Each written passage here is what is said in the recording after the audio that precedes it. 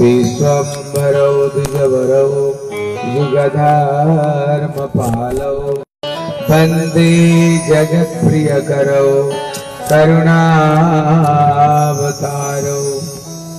हे कृष्ण करुणा सिन्धो दीनबन्धो जगत्पते गोपेश गोपिका कान्त श्रीराधाकान्त नमस्तुते। तप्त काञ्चन गौराङ्गी राधे वृन्दा वनेश्वरी वृषभानुसुत देवी प्रणमामि हरिप्रिये। भक्त्या विहीनापराध लक्ष्यै कित्तासि कामादितरङ्गमध्ये कृपामयि त्वां शरणं प्रपन्ना। वंदे नमस्ते चरणारविन्दम्। जय रूप सनातन भट्ट रघुनाथ श्री जीव गोपाल भट्टदास रघुनाथ। ए क्षय गोसाई करी चरण जहाँ हईत विघ्ननाश अभीष्ट बुरन तमादि देवम करुणानिदानम तमाल वर्णम सुविधावतारम अपाल संसार समुद्र सेतु भजामहे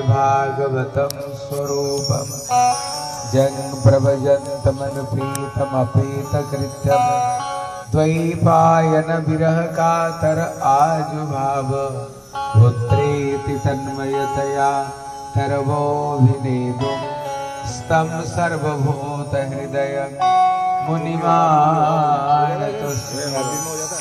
नारायणं नमस्कृत्य नरं चैव नरोत्तमम् देवीं सरस्वतीं व्यासं ततो जयमुदिरये।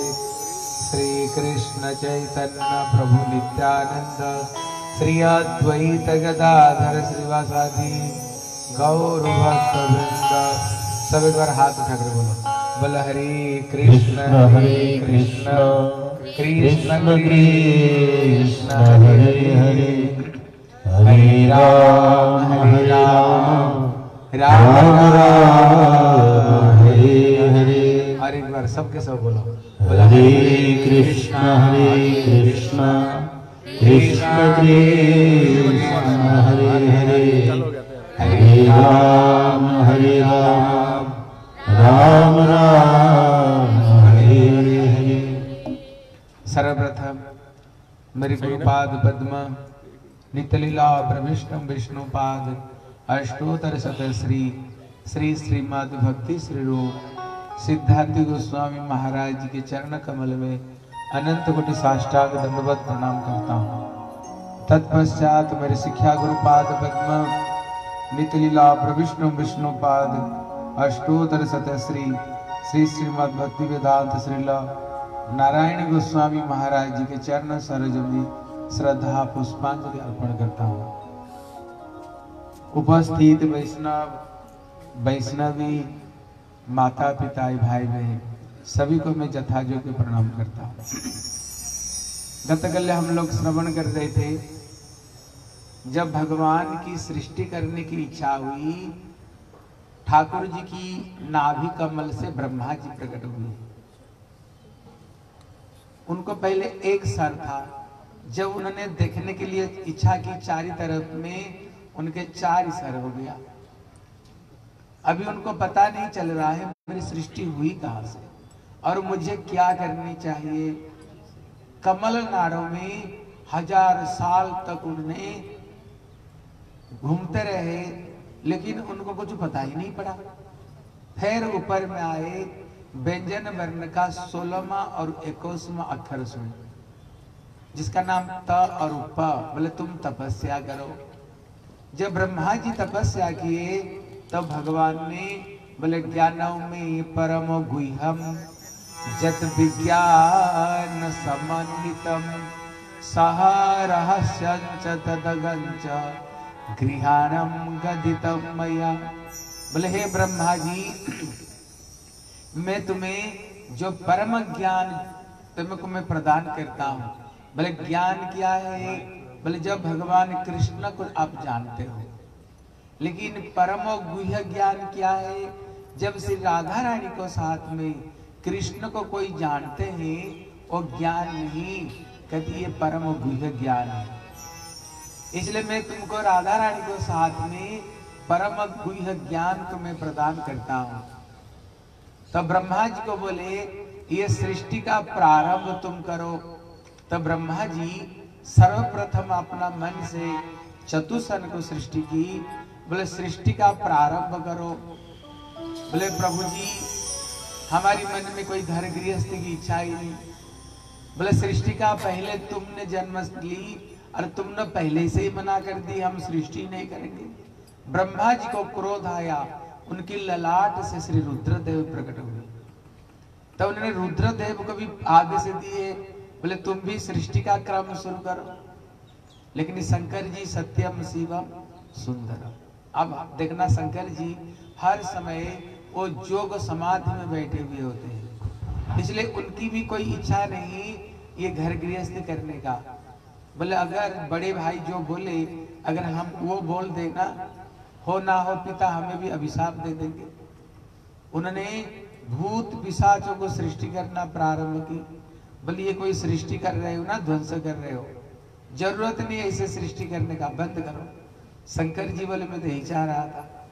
फिर उन्होंने अपना परछाई से श्री करदम ऋषि को उन्होंने प्रकट की। और ये करदम ऋषि ने कठोर तपस्या की भगवान संतुष्ट होकर के दर्शन दिए। बोले, बेटा, तुम्हें क्या चाहिए? बोले, आपकी चरण की भक्ति चाहिए। बोले, तथास्तु। बोले, और क्या चाहिए? बोलो। बोले, मेरे मन में तो कोई घर गृहस्थी की इच्छा नहीं लेकिन आपकी इच्छा ये संसार की क्रम बढ़े। लेकिन आपकी इच्छा जान करके तो संसार करूँगा, लेकिन दो शर्त है। बोले, बताओ क्या शर्त?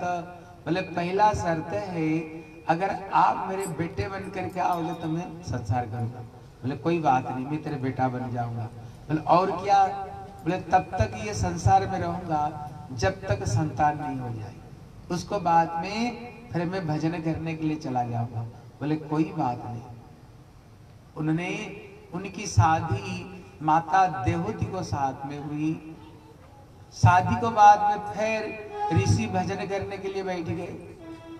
दस हज़ार साल भजन किए और माता देवती बड़े पतिव्रता धर्म को साथ में उन्होंने अपना पति को उन्होंने सेवा की। जब दस हज़ार सालों के बाद में आग खोली, उन्होंने भूल गए हमने कभी शादी किया है। सामने एक बुढ़िया को देखे। बोले, भैया, ये बुढ़िया कौन है? तब श्री देवती बोली, आपको याद नहीं, आप कभी शादी किए हो? बोलो तो वही देवती बोला हाँ मैं तो वही देवती हूँ क्योंकि इन्होंने पति की सेवा करते करते अभी पति भोजन नहीं कर रहे हैं, वो भी भोजन नहीं कर रहे हैं। पति कोई श्रृंगार नहीं कर रहे हैं और पत्नी भी कोई श्रृंगार नहीं कर रही है। और उनकी जो केस एकदम जटाजुट हो गया, क्योंकि पति के लिए तो श्रृंगार करती है पत्नियाँ, पति तो है ही नहीं। फिर उन्होंने किसको दिखाने के लिए, फिर श्रृंगार किसको करेगी? करदम ऋषि संतुष्ट हो गई बोले, तुम मेरे से बर मांगो। बोले, आपने शादी क्यों किया था? बोलो, आप भगवान से बर मांगा था ना। अगर आप बेटे बन करके आओगे, मैं शादी करूँगा। बोले हाँ। बोले, भगवान तो बेटे बने ही नहीं। बोले, एक काम करो, ये बिंदु सरोवर में तुम स्नान करो। स्नान करके जब उसने उठी, पहले जितने सुंदरी थी, उससे भी ज़्यादा सुंदरी बन करके प्रकट हुई। हज़ार दास दासियाँ प्रकट हुई। और श्री कदम ऋषि ने अपना मन से एक कामक विमान उन्होंने सृष्टि किया। देखो, पहले जो साइंस है ना, अभी का साइंस से बहुत एडवांस था। वर्णना आती है, वो कामक विमान मतलब क्या है? बोले, जिसमें कोई पेट्रोल की ज़रूरत नहीं, डीजल की ज़रूरत नहीं। जैसे चाहोगे वो विमान वैसे उड़ेगी। बोले, वो विमान कितने बड़ी थी? बोले, कितने क्रोश तक थी। जिसमें सुंदर राजमहल बनी हुई, जिसमें सुंदर स्विमिंग पूल स्विमिंग पूल नहीं, सुंदर जिसमें सरोवर है, जहाँ पर राज हंस क्रीड़ा करते हैं, जहाँ पर सुंदर पेड़ पौधा, फल, फूल जिसमें लगे हुए हैं। और जिसमें कोई बैठना ठंडा भी नहीं लगेगी, गर्मी भी नहीं लगेगी, और जिसमें बैठना कभी कोई बूढ़ा और कोई बूढ़ी नहीं बनी अद्भुत। ऐसे ये विमान बनाए और जैसे चाहोगे वो वैसे उड़ेगी। क्रश नहीं होगी एक्सीडेंट नहीं होगी। हैं? ऐसे अद्भुत विमान उन्होंने बनाए और उसी में बैठ करके करदम ऋषि और माता देहूती आकाश में उन्होंने भ्रमण करते रहे। भ्रमण करते करते उनके बड़ी प्यारी और बड़ी सुंदर, उनको नौ ठो कन्या जन्म। करदम ऋषि बोले, अभी तो संतुष्ट हो गई। तुमको नौ नौ बेटी हो गई। बोले, नहीं। बोले, क्यों? बोले, बेटियाँ तो शादी करके अपना ससुर घर चली जाएगी। मेरे पास में कौन रहेगा? अब भगवान बताया ना, अब तो बेटा बन करके आएँगे। अभी ठाकुर तो बेटे बने ही नहीं। फिर उन्होंने पति की बड़ी सेवा की। सेवा दी तो पति ने संतुष्ट होकर के उनको एक संतान दिया। जिनका नाम बना श्री कपिल भगवान। बोले श्री कपिल भगवान की कोई जयकार नहीं दे रहे। ठंडा लग रहा है ज़ोर से बोलो। बोले श्री कपिल भगवान की बोले अभी तो संतुष्ट हो गए अभी तुमको भगवान मिल गए। इतने में भगवान से उन्होंने बर मांगा था। बोले प्रभु तब तक ये संसार में रहूँगा जब तक संतान नहीं हो जाए अभी मैं तो भजन करने के लिए जा रहा अभी वो भजन करने के लिए चले गए। जब चले गए तो यहाँ प्रश्न होता है, बोले, भैया, भजन किसको करने जा रहे हैं? बोले, भगवान को। बोले, भगवान तो तेरे घर में बेटे बन गए जब भगवान तुम्हारी बेटे बन करके आए, और भगवान को घर में छोड़ करके वन में तू जा रहे हो? क्यों जा रहे हो? तब उन्होंने यहाँ पर एक बड़ी रहस्य बताए घर में भगवान रहने पर भी हमें क्यों जंगल में जानी चाहिए भजन करने के लिए? ये चीज़ को अच्छे तरह से समझो। ठीक है? देखो, जब तक हृदय में प्रभु का प्रति प्रेम नहीं होना अगर ठाकुर जी तुमको मिल भी जाए, तुम्हें कोई लाभ होने वाले नहीं। जैसे रावण ही। रावण ने राम को देखा कि नहीं बताओ? बोलो, देखा है ना? लेकिन उसने किया क्या? सीता को उठा कर ले गया फिर उन्होंने प्रभु राम को साथ में लड़ाई किया, युद्ध किया। लक्ष्मण को नाग फास बंधन में बाँध दी राम लक्ष्मण को। लक्ष्मण को ऊपर में शक्ति सेल उन्होंने चलाया। तो भगवान को देख करके फिर रावण का लाभ क्यों नहीं हुआ। कंस ने कृष्ण को देखा कि नहीं? देखा था ना? कृष्ण को साथ में ज़िंदगी भर बैरी ठाने। मारने के लिए अगासुर बकासुर को भेजते रहा। और कृष्ण साक्षात सामने और आदेश दे रहे उसको मार डालो उसको। शिशुपाल भी देखा कृष्ण को, सामने कृष्ण खड़े हुए। 101 गाली उन्होंने ठाकुर को निकाला। अगर किसको आप गाली दो ना, पाँच, दस बाद में तुम्हारी गाली तुम्हें नहीं मिलेगी। लेकिन उसने 101 गाली ठाकुर जी को निकाले। यहाँ प्रश्न होता है फिर उनका हृदय परिवर्तन क्यों नहीं हुआ? कारण है उनके हृदय में भक्ति नहीं। जब तक भक्ति नहीं हो, अगर हमें कृष्ण दर्शन भी देना हमारे कोई लाभ होने वाले नहीं। अभी भक्ति कैसे मिलेगी? बोले, जब तक आप साधन नहीं करोगे, तब तक ये भक्ति नहीं मिलेगी। और कलयुग में सबसे बड़ा साधन क्या है? बोले, भगवान का नाम है। बोले काली जोग के बलना म आधारा। कली योग के बालना आधारा।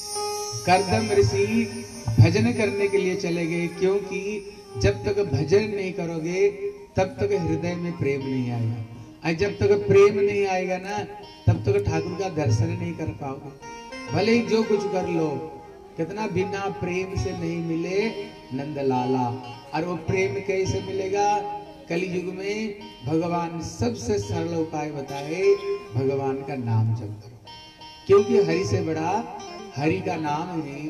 भगवान कली युग में श्री चैतन्य महाप्रभु कहते हैं, मैंने कली युग में दो रूप में आया हूँ। एक तो अपना नाम रूप में और दूसरा है कि जो ठाकुर जी रूप में, श्री गोविंद देव रूप में। ठाकुर कली युग में दो रूप में आए हैं? अभी श्री करदम ऋषि भजन करने चले गए। अभी घर में दो व्यक्ति, घर में कौन रह गए? हाँ भजन में जाने से पहले उनको नौ नौ बेटिया थी। अगर घर में बेटी हो ना, सबसे पहला कर्तव्य है, बेटियों को पहले शादी दिलवाओ। आप लोगों ने बेटियों को शादी करवाए होंगे। देखना जब एक बेटी को शादी करो ना, घर खाली हो जाती है। लेकिन घर में कितने बेटियाँ हैं इनकी? नौ नौ बेटियाँ। तो नौ नौ बेटियों को शादी करने के लिए कितना कष्ट होगा। देखो, यहाँ शिक्षा देते हैं अगर आपकी मन में भजन की इच्छा हो ना, ठाकुर जी सब कुछ कर देते। एक दिन ब्रह्मा जी उनके दस बेटे थे। नारद जी बचपन से वो वैराग्य है। उनकी संसार संसार में कोई रुचि नहीं। एक दिन श्री ब्रह्मा जी अपना नौ बेटों को लेकर के करदम ऋषि को पास में आए। इनको पास में नौ बेटे और उनको पास में नौ बेटियाँ आए देखा भैया, जोड़ी तो बड़ी प्यारी है। नौ बेटे और नौ बेटी बोले शुभम शीघ्रम शुभ कार्य को जल्दी जल्दी कर देनी चाहिए। फिर एक साथ में नौ बेटियों को शादी करा दी। एक साथ में घर खाली हो गया। हाँ। देखो यहाँ शिक्षा देते हैं अगर तुम्हारी भक्ति करने की इच्छा हो ना ठाकुर जी सब कुछ कर लेते। अब नरसिंह भक्त का नाम सुने होंगे। उनके घर में एक बेटी थी लेकिन ये नरसिंह भक्त दिन भर प्रभु का भजन करते थे। उनको संसार से कोई मतलब नहीं। अभी बेटी हो गई, शादी के लायक, अभी शादी कौन करवाएगा? दिन रात तो पिताजी भजन करते हैं। अभी शादी कौन करवाएगा? कृष्ण स्वयं साबरिया सेठ बन करके कृष्ण स्वयं आते हैं। और इतने धूमधाम से शादी कराए ना, वो अरब खरब पति भी शादी नहीं करा सकते ऐसे उन्होंने शादी कराया। शिक्षा देते हैं, अगर भगवान की तुम भक्ति करो ना, ठाकुर जी सारे काम ठाकुर जी कितना करते हो तुम कन्हैया मेरा? नाम हो रहा है और तेरी कृपा से सारे काम हो रहा है। इसलिए केवल आप प्रभु की भक्ति करो। देखना, सारे काम अपने आप होते जाएँगे सारे काम ठाकुर जी अपने आप करते रहेंगे। ठीक है ना? इसलिए अभी घर में दो व्यक्ति रह गए, माँ और बेटा। लेकिन माँ को ये पता है, ये मेरे जो बेटा है ना, ये भगवान है। एक दिन माँ स्वयं आकर के अपना बेटे को सामने हाथ जोड़ कर बैठ जाती है।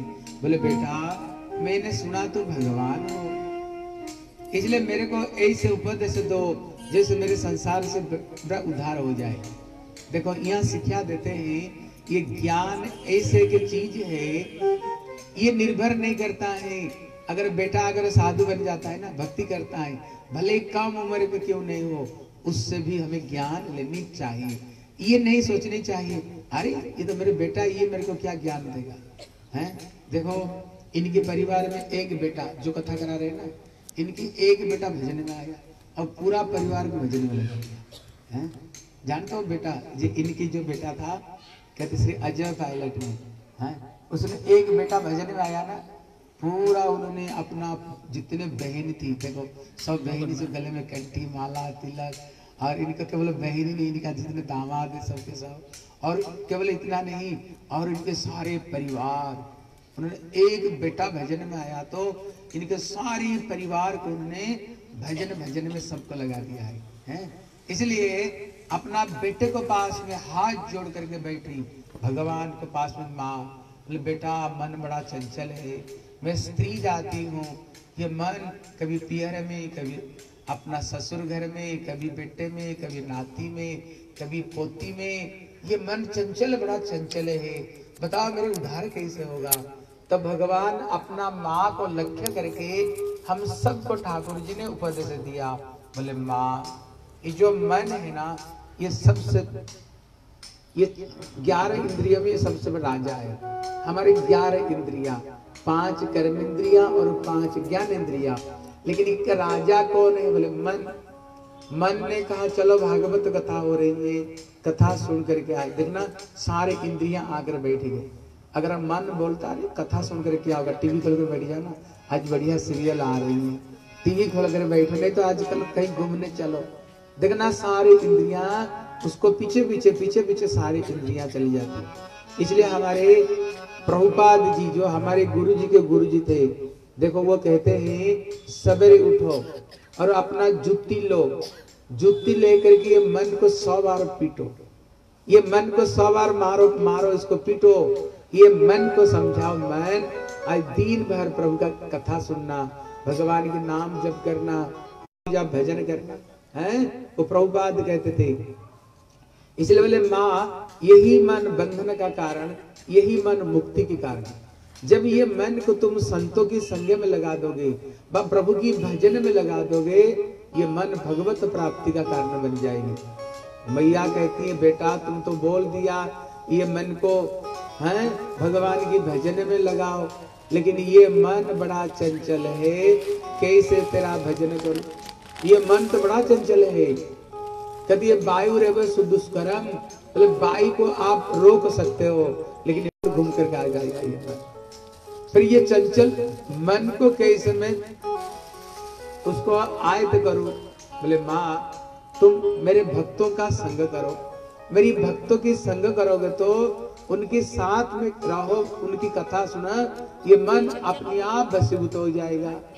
इसलिए कहते हैं, संतन के संग लागी रे तेरी, अच्छी बनेगी। अच्छी बनेगी, तेरी बिगड़ी बनेगी। अब बिगड़ी बनेगी, तेरी किस्मत जागेगी। संतन के संग लागी तेरी अच्छी बनेगी माँ। तुम संतों की संग करो। भले संतों का संग जो करेंगे, उनका कुछ लक्षण बता दो। हम पहचानेंगे कैसे संतों को? तो भगवान संतों का लक्षण कहते हैं बोले तिथिक सब कारुणिक सुहित सर्वदेही नाम। अजात सत्र बसांता साधु भी साधु भूषण। बोले माँ, संतों का जो पहला लक्षण है, ध्यान देकर सुनो। आप सभी संत हैं, ऐसे नहीं जो चोला पहन लिया, वही संत है। तुम घर में रहो, नहीं तो जंगल में रहो, आश्रम में रहो। देखो, हमारी अंदर में क्या गुण होनी चाहिए। पहला गुण तिक्तिक्स मतलब सहन शक्ति। अगर सहन शक्ति नहीं होना अगर बात बात में क्रोध आती है, है? आप देखना घर में भी शांति नहीं मिलेगी आश्रम में भी शांति नहीं मिलेगी।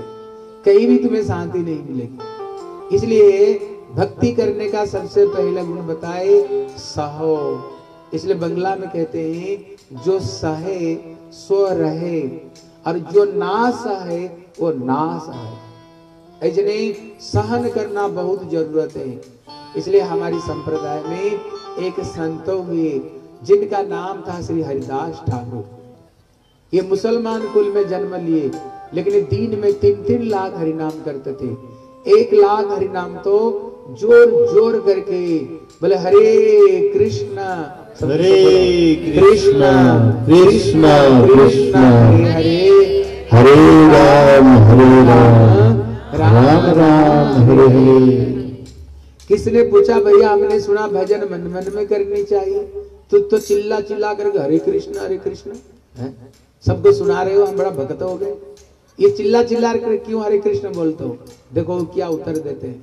बोले, तुम लोग ये बताओ, एक व्यक्ति कमा करके खुद खाता है, दूसरे व्यक्ति कमा करके पूरा परिवार को खिलाता है। बताओ, दोनों में बड़े कौन है? आप बताओ, दोनों में बड़े कौन है?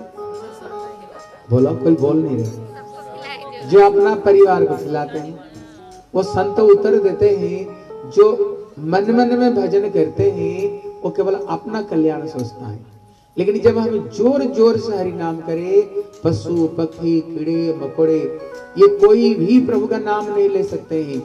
जब ये भगवत नाम उनकी कान में पड़ेगा, उनका भी कल्याण होगा। इसलिए उन्होंने पुराण से एक श्लोक को उठा करके बताए, बोले, जप तो हरि नामानि स्थानी सत्य गुणाधिक इसका मतलब जो मन मन में हरि नाम करेगा, उसको जो फल मिलेगी, जो ज़ोर ज़ोर से करेगा, सौ गुण ज़्यादा फल मिलेगी। क्योंकि ये हरिनाम सबको कान में पड़ेगा तो सभी का कल्याण होगा। इसलिए मैं कभी कभी ज़ोर ज़ोर से बोलता हूँ ना, नाम करो। क्योंकि प्रभु का नाम करने से इसकी आवाज़ पूरा एक कलन में फैलेगी जहाँ तक ये ठाकुर जी का नाम जाएगी, कहते मंगल भवन, अमंगला हरि सारे अमंगल दूर हो जाएगा। देखो, जैसे तुम्हारे घर में कोई परेशानी है, लेकिन घर में किसी तरह से शांति, सुख नहीं आ रही है। आपको कहीं जाने का ज़रूरत नहीं, घर में बैठो, पूरा परिवार के बैठ जाओ। अगर मजरा ढोलकी हो, अच्छी बात है। कुछ भी नहीं हो, भगवान हाथ दिया है, ताली बजाते हुए घर में थोड़ी सी हरि कीर्तन कर लो। देखना, धीरे धीरे धीरे धीरे, घर का जितने दुख कष्ट तुम्हारी, सारे दुख कष्ट दूर हो जाएगी और घर में अपनी आप शांति, सुख आ जाएगी। अपनी आप आ जाएगी। इसलिए वो एक लाख तो ज़ोर ज़ोर से करते थे और एक लाख हरिनाम अपना कान तो को सुनाई पड़े, ऐसे करते थे। और एक लाख जो हरिनाम करते थे मन मन में करते थे, इसे तीन लाख हरिनाम करते थे। और उसी समय में मुसलमान राजत्व था। मुसलमान ने कहा "ए, तुम मुसलमान घर में जन्म लिए अरे हिंदुओं का हरे कृष्ण हरे कृष्ण क्यों बोलते हो? खबरदार ये हरे कृष्ण नहीं बोल सकते हो। बोले भैया मेरे शरीर को भले ही बोटी बोटी कर काट डालो लेकिन प्रभु का नाम मैं नहीं छोड़ूँगा। तो उन्होंने मुसलमान का आदेश दिया पाँच छह सिपाही को। बाईस मार्केट थी। बोले इतने बुरी तरह से इसको मारो ये दुनिया को पता चले जो हिंदू होकर के जो मुसलमान होकर के ये हिंदुओं का हरे कृष्ण नाम करते हैं उसका क्या दंड मिलता है? इतने बुरी तरह से मारे। लेकिन जितने ज़ोर से मार रहे थे ना वो उतना ज़ोर से हरे कृष्ण हरे कृष्ण कृष्ण कृष्ण हरे हरे हरे राम राम राम राम हरे हरे। उतना ज़ोर ज़ोर से नाम ले रहा था। बैकुंठ से स्वयं ठाकुर जी आ गए। चक्र लेकर के उनको मारने के लिए, लेकिन ये हरिदास ठाकुर उनके लिए उनके लिए कल्याण सोच रहे थे। ठाकुर जी, ये अज्ञा, ये मूर्ख है, ये जानते नहीं। आप इनके अपराध को माफ़ कर दो। ठाकुर जी ने देखा, जब ये प्रार्थना कर रहा है, फिर मैं कैसे मार सकता हूँ? उसको पीठ के ऊपर में ठाकुर जी पीठ लगा दिए। जितने पिटाई हुई ना, सब ठाकुर जी ने ले लिया। सब ठाकुर जी ने ले लिया, हैं? इसलिए यहाँ शिक्षा देते हैं। देखो, भजन करते समय अगर थोड़ी बहुत अगर इधर उधर कोई चीज़ आ जाए ना, भगवान की भजन कभी मत छोड़ना। लेकिन हम क्या करते हैं? भजन कर रहे हैं। अगर थोड़ी बहुत कोई इधर उधर चीज़ हो जाए ना, भले ही कोई चीज़ छोड़े, नहीं छोड़े, पहले माला छोड़ छोड़ देते अपना खाना नहीं छोड़ेंगे, घूमना नहीं छोड़ेंगे। पार्टी में जाना नहीं छोड़ेंगे, सबको ठीक रखेंगे। अब बोलेंगे, हमने भगवान कैसे किया, और भगवान कितने भक्ति करते हैं। ठाकुर जी हमारे साथ में ऐसे किया है। पहले प्रभु का भजन ही छोड़ने के लिए हम तैयार रहते हैं। लेकिन यहाँ पर कहते, नहीं, भक्ति करना तो तितिक सब तितिक सब मतलब सहन शक्ति। अब भगवान कभी कभी परीक्षा करते हैं, ठाकुर जी कभी कभी परीक्षा भी लेते हैं, भैया, तुमने कितने पानी में उतरे हो? हैं? मेरे को सचमुच से क्या पाना चाहते हो? इसलिए कभी कभी प्रभु जान बुझ करके कभी कभी विपत्ति देते हैं, ये करता है क्या? हैं? इसलिए भगवान कहते माँ, संतों का पहला लक्षण है तितिक सब एक संत थे, जिनका नाम था तुकाराम। कभी भी इनकी जीवन में क्रोध ही नहीं आया। एक दिन गाँव के लोगों ने सोचा बोले भैया, ये बाबा को कभी भी क्रोध नहीं आता है। एक काम करके आज ज़रूर उनको क्रोध दिलाएँगे। रोज जो गंगा में नहा करके आते थे, कुछ लोगों ने प्लानी करके टोकरी में कुछ कचड़े लेकर खड़े हो गए। बोले, सीधा उनका सर पर डाल दिया। जब स्नान करके आए, सीधा सर में डाल दिए। उसने कुछ भी नहीं कहा। फिर गंगा में नहा करके आए, फिर डाल दिए। सौ बार डाले। उसने सौ बार गंगा में स्नान किया।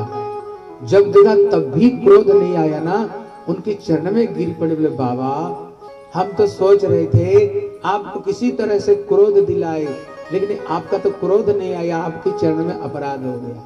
देखो, वो संत क्या कहते हैं? बोले, तुम लोग जैसे मेरे उपकार करने वाले कौन होगा? बोले, कैसे? बोले, रोज में एक बार गंगा में नहाता था। आज तुम्हारी वजह से सौ बार गंगा में नहाता हो गया। बोले, श्री वृंदावन बिहारी इसलिए हर चीज़ को अनुकूल रूप में ग्रहण करनी चाहिए। इसलिए भगवान संतों का लक्षण बताए तितिक सब कारुणिक सुहृद सर्वदैना सबको वो बराबर रूप में देखते हैं। अजात शत्रव। उसके जीवन में सोचते, मेरी कोई शत्रु है ही नहीं जीवन में। हैं? बड़े शांत, बड़े दयालु, बड़े कृपालु। लेकिन इनके अंदर में एक विशेष गुण है। बोले, क्या है? ध्यान देकर सुनो। कतमयी अनन्न भावेन। भक्ति दृढ़ाम कहते, इनकी विशेष गुण है, वो मेरे एकांत रूप में अनन्न रूप में मेरी भजन करते हैं। अनन्न रूप में मेरी भक्ति करते हैं। देखो, ध्यान देकर सुनो। ये ठाकुर जी कहते हैं, भक्ति कैसे करनी चाहिए? ठीक से सुनो इस चीज़ को। कहते, भक्ति करनी चाहिए अनन्य। अनन्य मतलब होता है न अन्य। और किसी को उपासना नहीं केवल मुझे ही उपासना करते हैं। जैसे मीरा कहती है, मेरे तो गिरिधर गोपाला। उसको बाद में बोलो। मेरे तो गिरिधर गोपाला? हाँ दूसरा ना कोई। ऐसे होनी चाहिए। जब उद्धव जी ब्रज में गए, गोपियों की ज्ञान की बात बताई, बोले, तुम ध्यान करो, भगवान तो सर्वत्र है कहा नहीं बताओ। क्यों रो रहे हो? गोपियाँ क्या कहती हैं, उद्धव, मन ना भयो दस बीस। एक मन सो गए श्याम संगे को आराध ईस। मन थोड़ी दस बीस है। मन तो एक ही है ना। एक मन तो कन्या को साथ में गया। तो ध्यान की बात बताते हो। ध्यान तो मन से होता है। लेकिन मन तो कृष्ण को साथ में गया हुआ आप लोग समझ रहे कि नहीं? इसलिए भक्ति एकनिष्ठ होनी चाहिए। जैसे हम किसको पतिव्रता नारी कहते हैं? जो एक पति को चरण में अपना मन, तन, सब कुछ एक को चरण में दे दे तभी तो उसको पतिव्रता नारी कहते हैं ना। नहीं तो पतिव्रता नारी नहीं होगी हैं? इसलिए भक्ति भी ऐसे एक पतिव्रता नारी की भक्ति है। एकनिष्ठ होकर के केवल कृष्ण को भक्ति करनी चाहिए। फिर आप बोलोगे, जो इतना सारे देवता है? फिर उनको साथ में हम क्या करें? हाँ ये चीज़ को समझो। जैसे किसी लड़की जब शादी होकर के अपना ससुर घर में जाती है, उसका पति भी होते हैं, उसकी देवर भी होते हैं, उसकी जेठ भी होती है, उसकी सास ननद ससुर भी होती है होती है कि नहीं? सबको सम्मान देना पड़ता है, सबको सम्मान देती है। लेकिन हृदय में किसको बैठाती है? बोलो। हृदय में किसको बैठाती है? पति को, दूसरों को हृदय में बैठने नहीं देती है। ऊपर से सम्मान करती है। अगर लड़ाई भड़ाई हो गया तो किसको लेकर अकेली हो जाती है? तो किसको लेकर अकेली हो जाती है? फिर अपना पति को लेकर वो अकेली हो जाती है। कहते उसी तरह सबको सम्मान दो। किसी को असम्मान मत करो। लेकिन अपना हृदय में है ना, मेरे तो गिरिधर गोपाला, दूसरा ना कोई। इसलिए हृदय में केवल कृष्ण को बैठा कर रखो। हृदय में और किसी को स्थान मत दो। ये भगवान खुद कहते हैं, मई अनन्य भावे न भक्ति कुर्बंत जिद्रा वो मेरी एकांत भक्त हैं, जो अनन्य रूप में, एकांत रूप में, मेरी को जो दृढ़ रूप में भक्ति करती हैं हैं? तब भगवान ने मैया को बड़ी सुंदर सुंदर ज्ञान की बात बताई। बोले, माँ, गर्भ में बच्चे का जब सात महीना हो जाए, उसको ज्ञान आ जाता है। उसको हज़ार जन्म की बात याद आती है। पूर्व पूर्व जन्म में हमने कैसे झूठ, बेईमानी करके पैसा कमाया लेकिन ये सुख का समय पूरा परिवार थे, लेकिन दुख का समय कोई नहीं। उसी समय भगवान को पुकारता है। बोले, प्रभु, ये नरक से मेरे को निकाल दो। भगवान कहते, बताओ क्या करोगे? बोले, प्रभु, मैं समझ गया, संसार में कोई किसका है नहीं। सबके सब सुख के समय, दुख में कोई नहीं। एक बार मेरे को जन्म दोगे ना, मैं कसम खाती, खाता हूँ। ये माया संसार में कभी प्रवेश नहीं करूँगा। उठते, बैठते, सोते तेरे नाम जप करूँगा। और जब करते करते संसार से उधार हो जाऊँगा। बोले, सही बता रहे हैं। बोले, प्रभु, एकदम मैं सही बता रहा हूँ। बोले, भूलोगे नहीं? बोले, कभी नहीं भूलूँगा। एक बार के बोले, मेरे को जन्म दे दो। भगवान ने कहा, अगर भूल जाओगे ना, बीच बीच में तेरे को वार्निंग दूँगा। बताओ तो ठाकुर, पहला वार्निंग क्या देते हैं? बोलो, कौन बोलेगा? ठाकुर जी, पहला वार्निंग क्या देते हैं? बोलो, किसको याद है? हाँ जब बाल पकना शुरू होता है ना ये फ़र्स्ट वार्निंग, ऊपर जाने का समय हो गया। लेकिन जब एक बाल पकते उसको हम उखाड़ देते हैं, बोले, थोड़ी हम इतना बूढ़ा बूढ़ी हो गए, अभी से हमें बूढ़ा बूढ़ी बना रहे हो। फिर दूसरा बाल पक जाए तो उसको उखाड़ देते हैं।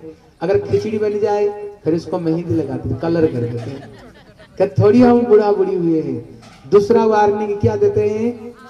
क्या, दूसरा वार्निंग क्या देते हैं? बोलो, आँखों में कमज़ोरी आ जाते हैं। फिर हीरो जैसे बढ़िया गगलेस बना करके, चश्मा बना करके बोले, अरे, हम थोड़ी कुछ हुआ। अभी हमारे कुछ हुए ही नहीं। बोले, तीसरा वार्निंग क्या देते हैं?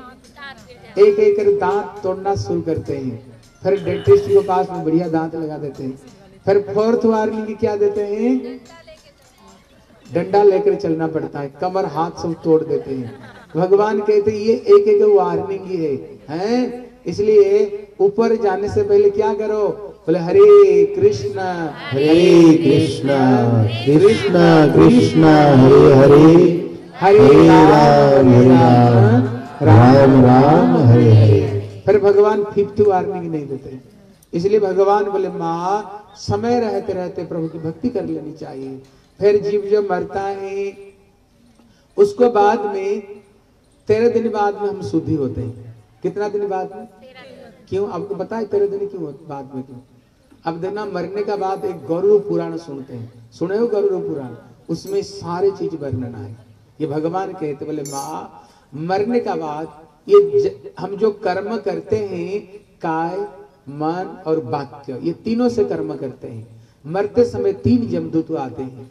गले में काल फांस को लगा करके गर्म रेतियों के ऊपर में घिसटते घिसटते ले जाते हैं।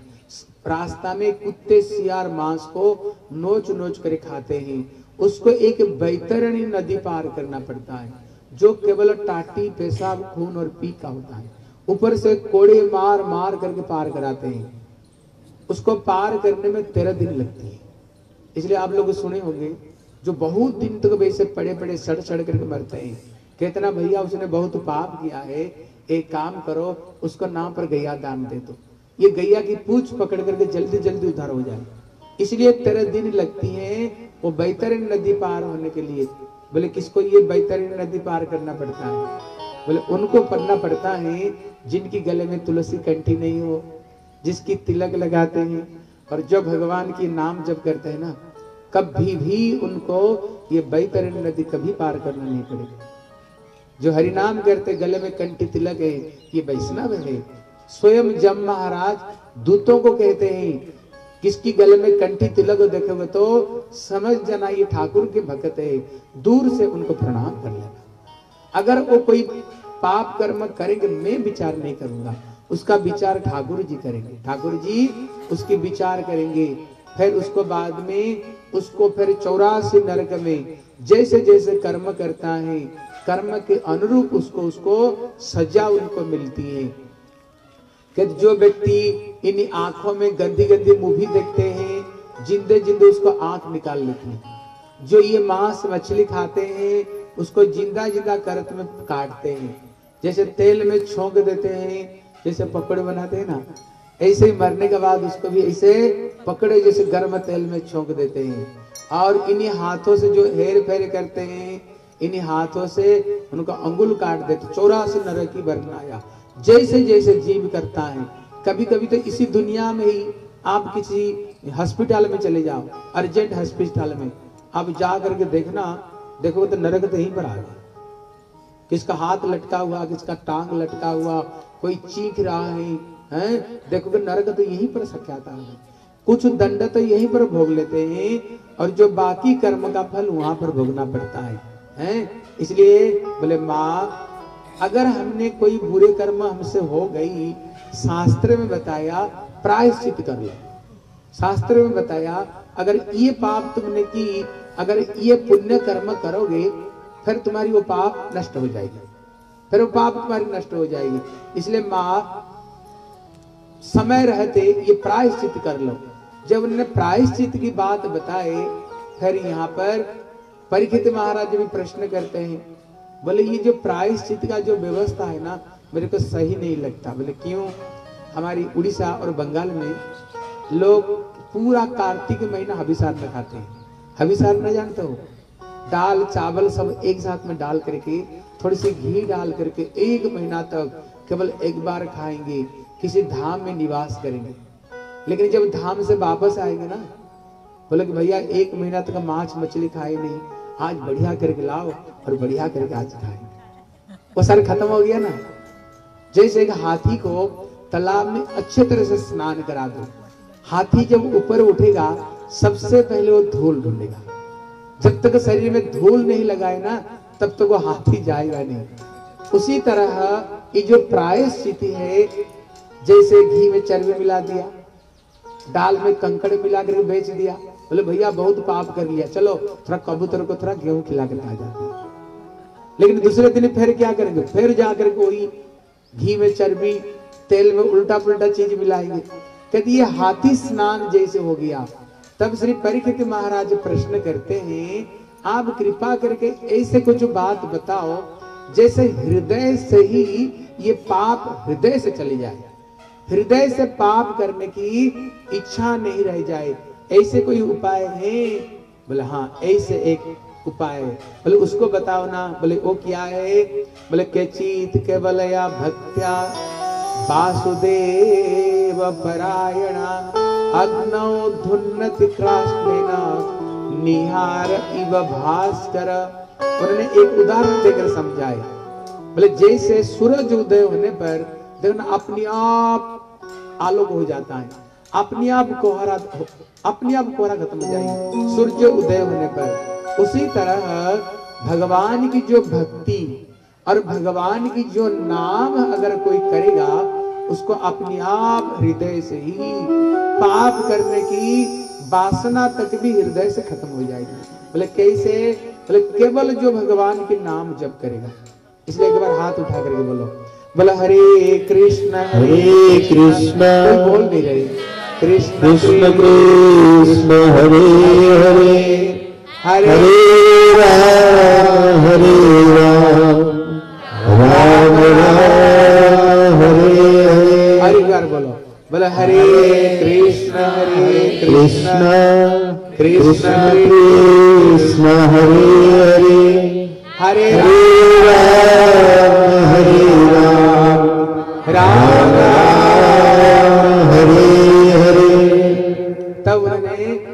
आपको मैं एक सुंदर स्टोरी सुनाता हूँ, कष्ट कथा सुनाता हूँ।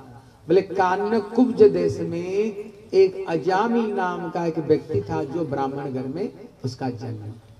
एक व्यक्ति के अंदर में जितने सद्गुण होनी चाहिए, उसके अंदर में सारे सद्गुण है। सवेरे उठ करके पहले पिता माता की चरण छूते थे, अपना गुरुजन की चरण छूते थे, पिता माता की सेवा करते थे, सबको आदर देते थे दुखी दरिद्र को सेवा करते थे, कभी झूठ नहीं बोलते थे, सबको सेवा, सबको सम्मान देते थे। सारे सद्गुण उसके अंदर में था। घर में पत्नी भी बड़ी प्यारी, सुंदरी, कम उम्र की, घर में शादी हुई पत्नी। एक दिन उसने जंगल में यज्ञ के लिए कुछ फल, मूल और लकड़ी लेने के लिए गया। हठात उसने देखा एक शूद्र और एक शूद्राणी दोनों शराब पी करके रखे। और विवस्त्र अवस्था में शरीर में कपड़े नहीं विभ्रस्त्र अवस्था में दोनों मिल रहे हैं। अभी उसको देख ना वो देखते ही रह गया। वो देखते ही रह गया, आँख को हटा नहीं सका। अभी उसका हृदय में ना वो फटो खिंच गई। जब उसने घर में आया, ब्राह्मण है। घर में पत्नी ब्राह्मणी है। सर्व सदगुण संपन्न। लेकिन यहाँ पर शिक्षा देते हैं, ये गंदी चीज़, कितने गड़बड़ी चीज़ है। कितने गंदी, कितने हृदय को कितने दूषित कर देता है। उसने अपना पत्नी को त्याग दे दिया। और जो बेस्या थी ना, वो बेस्या को साथ में चला गया।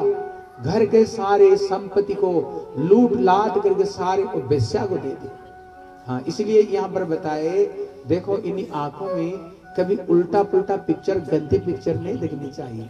अगर अजामिल जैसे व्यक्ति, इतने सदगुण संपन्न व्यक्ति अगर एक बार ये गंदी चीज़ को देखे, अगर उसका हृदय अगर परिवर्तन हो जाए, फिर हम बोला, हम कौन सा फिर हम हम, फिर हम क्या नहीं कर सकते हैं?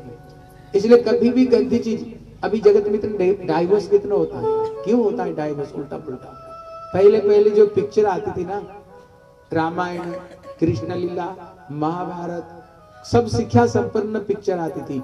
अभी देखो, ये सब पिक्चर आएगा ना, कोई भी नहीं जाएगा। जितने गंदी उल्टा पुल्टा चीज़ आएगी, उतना ही लोग उसको देखने के लिए जाएँगे। और उतना ही सभी का हृदय गड़बड़ी होता है, हृदय गंदी होता है, उतना ही जगत में उसकी बुरी प्रभाव पड़ रहा है। इसलिए उन्होंने उस, वो जो बेस्या थी, उसको हाथ में अमेध कुमेध खाए। उससे दस संतान हुए। और जो छोटा सबसे बच्चा था, उसका नाम रख दिया नारायण। अभी सबसे छोटा बेटा सबसे ज़्यादा प्यारा होता है। अभी हर बात बात पर बोले, बेटा नारायण, मेरे लिए पानी ले आ बेटा। बेटा नारायण, मेरे गोद में आ जा। नारायण, इधर आ बेटा, नारायण। अब ऐसे करते करते करते करते धीरे धीरे उसका मृत्यु का समय आ गया। जो हम कर्म करते हैं, काय, मन और वाक्य से ये कर्म करते हैं अभी तीन जमदूत उसको लेने के लिए आए। अभी जमदूत को देख करके उसने अपना बच्चे को दूर में देख करके बुलाया। बोले बेटा नारायण ये कितना अक्षर हुआ? नारायण कितना अक्षर है? बोले चार अक्षर नारायण जब ठाकुर जी का नाम लिया एक तरफ़ से चार विष्णु दूत दूसरे तरफ़ में ती, तीन जमदूत आए। और दोनों में घमासान लड़ाई हुई। जमदूत कहते, हम ले जाएँगे, और विष्णुदूत कहते, हम ले जाएँगे। देखो, ध्यान देकर सुनो, अगर बेटा का नाम, अगर भगवान का नाम पर रख दिया तो इसका कितने महत्व, ये चीज़ को देखो, हैं? कितने महत्व है? जमदूत कहते, हम ले जाएँगे, और विष्णुदूत कहते, हम ले जाएँगे। विष्णुदूत बोले, भैया, तुम लोग कौन हो? बोले, हम धर्म राजा के दूत। बोले, धर्म का नाम पर अधर्म कैसे कर रहे हो? बोले, अधर्म क्या? आपको पता ही व्यक्ति ने किया कि ब्राह्मण घर में जन्म हुआ, ब्राह्मणी को त्याग दी शूद्राणी को साथ में रहा, और अमेध कुमेध खाया, सारे पाप कर्म किया, सीधा नरक जाएगा। बोले, भैया अच्छा कर्म तो कुछ किया है। बोले अच्छा कर्म किया किया? बोले, अभी जो बेटा को नारायण जो नारायण बोला, बोले, वाह ज़िंदगी भर पाप करो और मरने से पहले एक बार नारायण बोलो, हो गया? हो गया नारायण बोलो? तब देखो क्या कहते हैं विष्णुदूत बोले, मूर्खों, तुम्हें नारायण नाम का क्या महिमा, तुम्हें क्या पता है? और उदाहरण देते हैं, जैसे भूस का एक ढेर हो। अगर उसमें आग की एक चिंगारी पड़ जाए ना, उसको जला करके राख कर देता है। रुई का एक ढेर में एक आग की चिंगारी पड़ी, जला करके राख कर देता है और जो भगवान का नाम कैसे है? बोले, हरि से बड़ा हरि का नाम, प्रभु से बड़ा प्रभु का नाम। हरि से बड़ा हरि का नाम, प्रभु से बड़ा प्रभु का नाम।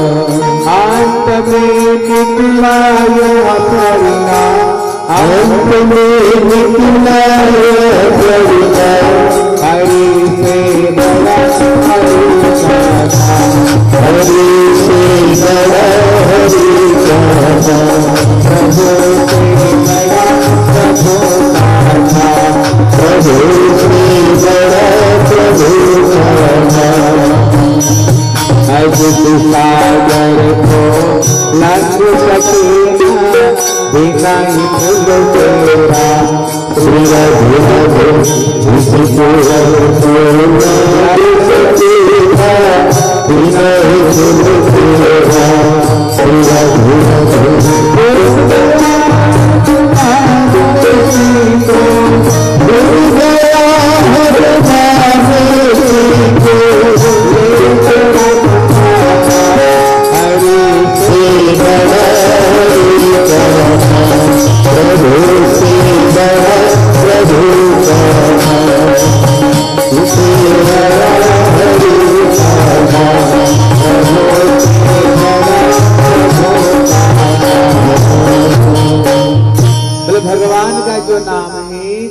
भगवान से भी बढ़ करके भगवान का नाम है। जब उसने अपना बेटा का नारायण नाम भरा दिया था, उसी समय उसका सारे पाप खत्म हो गया था। लेकिन जो बेटे को बारंबार बोला, नारायण, इधर आ जा बेटा नारायण पानी ले आ नारायण भोजन ले आ नारायण मेरे गोद में आ जा जब ये नारायण नारायण में बोला, क्या हुआ?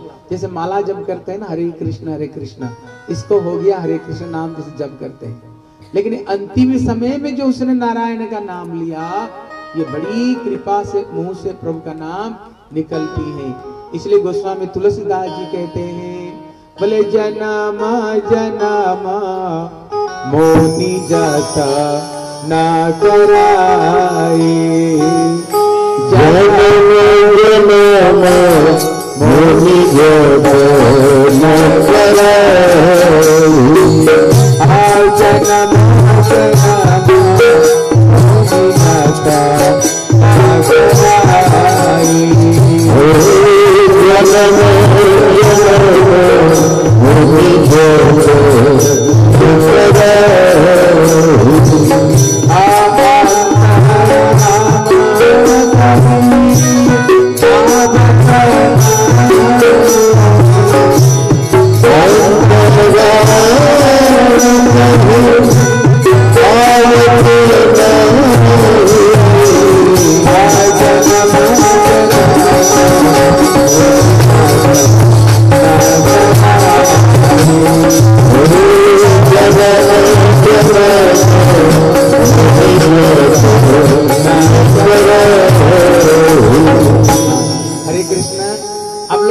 समझते हो?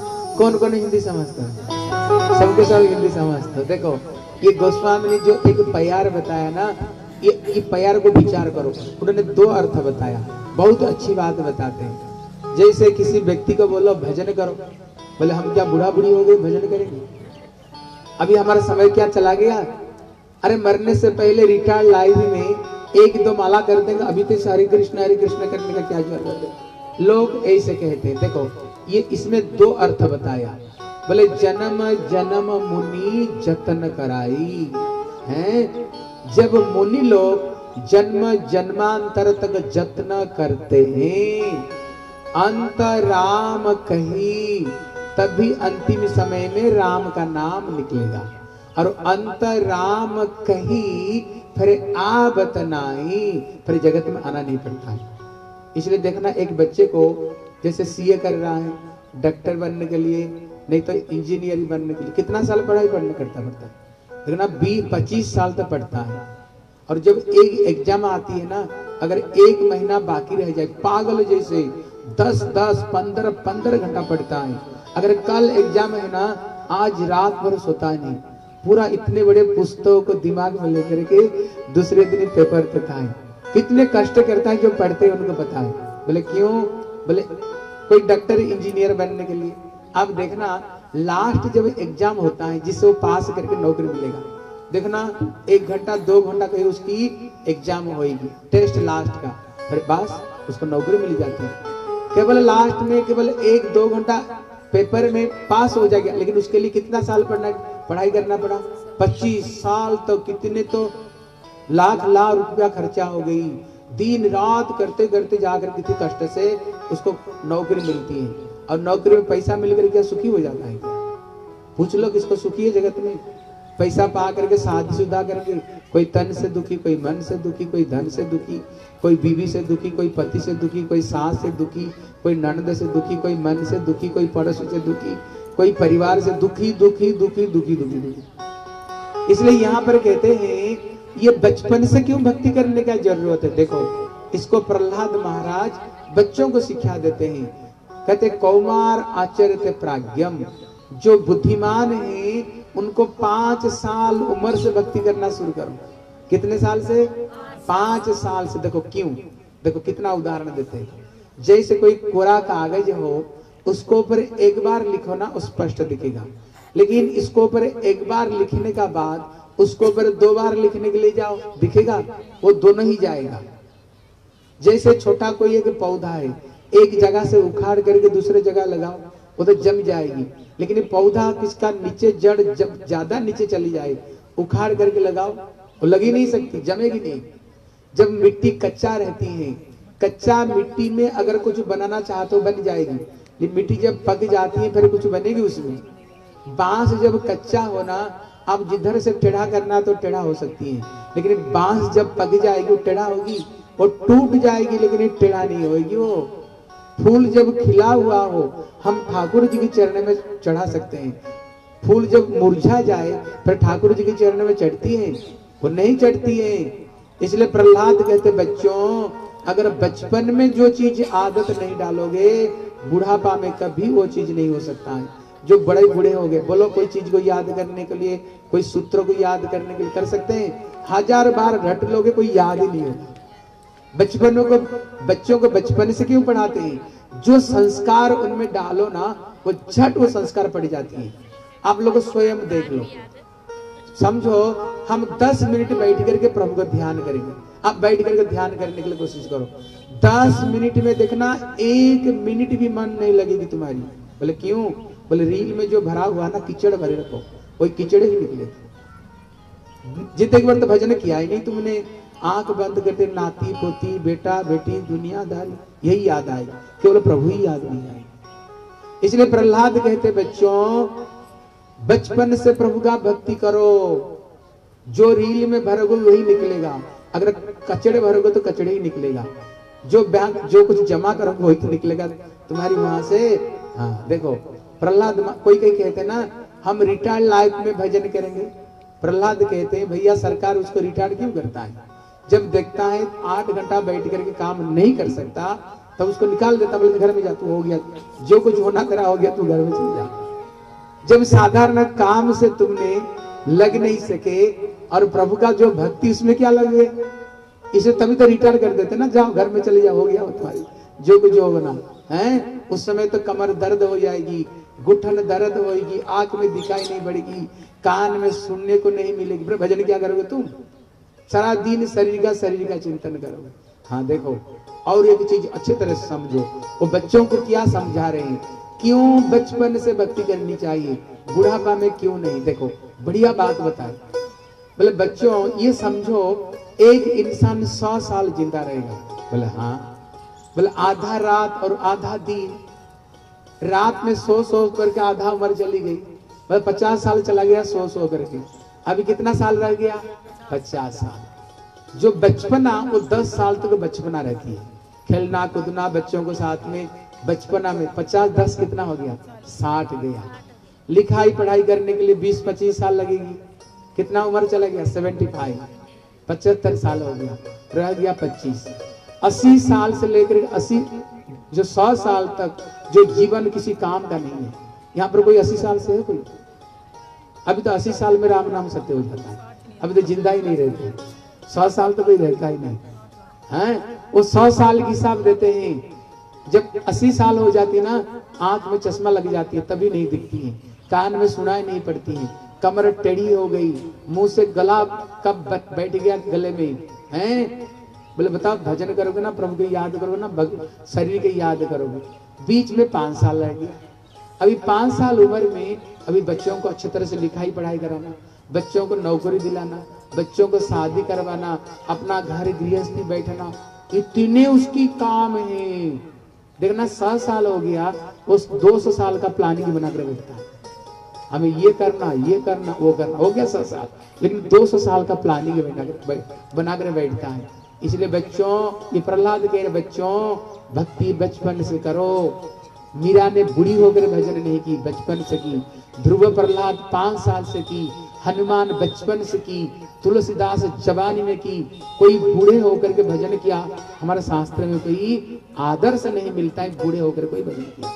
इसलिए हमारे शास्त्र में बोला, पचास ऊर्धे बनम प्रजत बोले, पचास साल के बाद में मना करता है, घर में मत रहो। इसलिए पचास के बाद में देखो अंक इक्यावन, बावन, बोले बन में जाओ, घर में नहीं, वृंदावन जाओ, भजन करो। घर गृहस्थी पच्चीस साल हो गया, बच्चे जन्म दे दिया, बड़े हो गए जान बुझ कर टांग अड़ा कर मत रहो, नहीं तो बहू के साथ में लड़ाई झगड़ा होगी तुम्हारी फिर।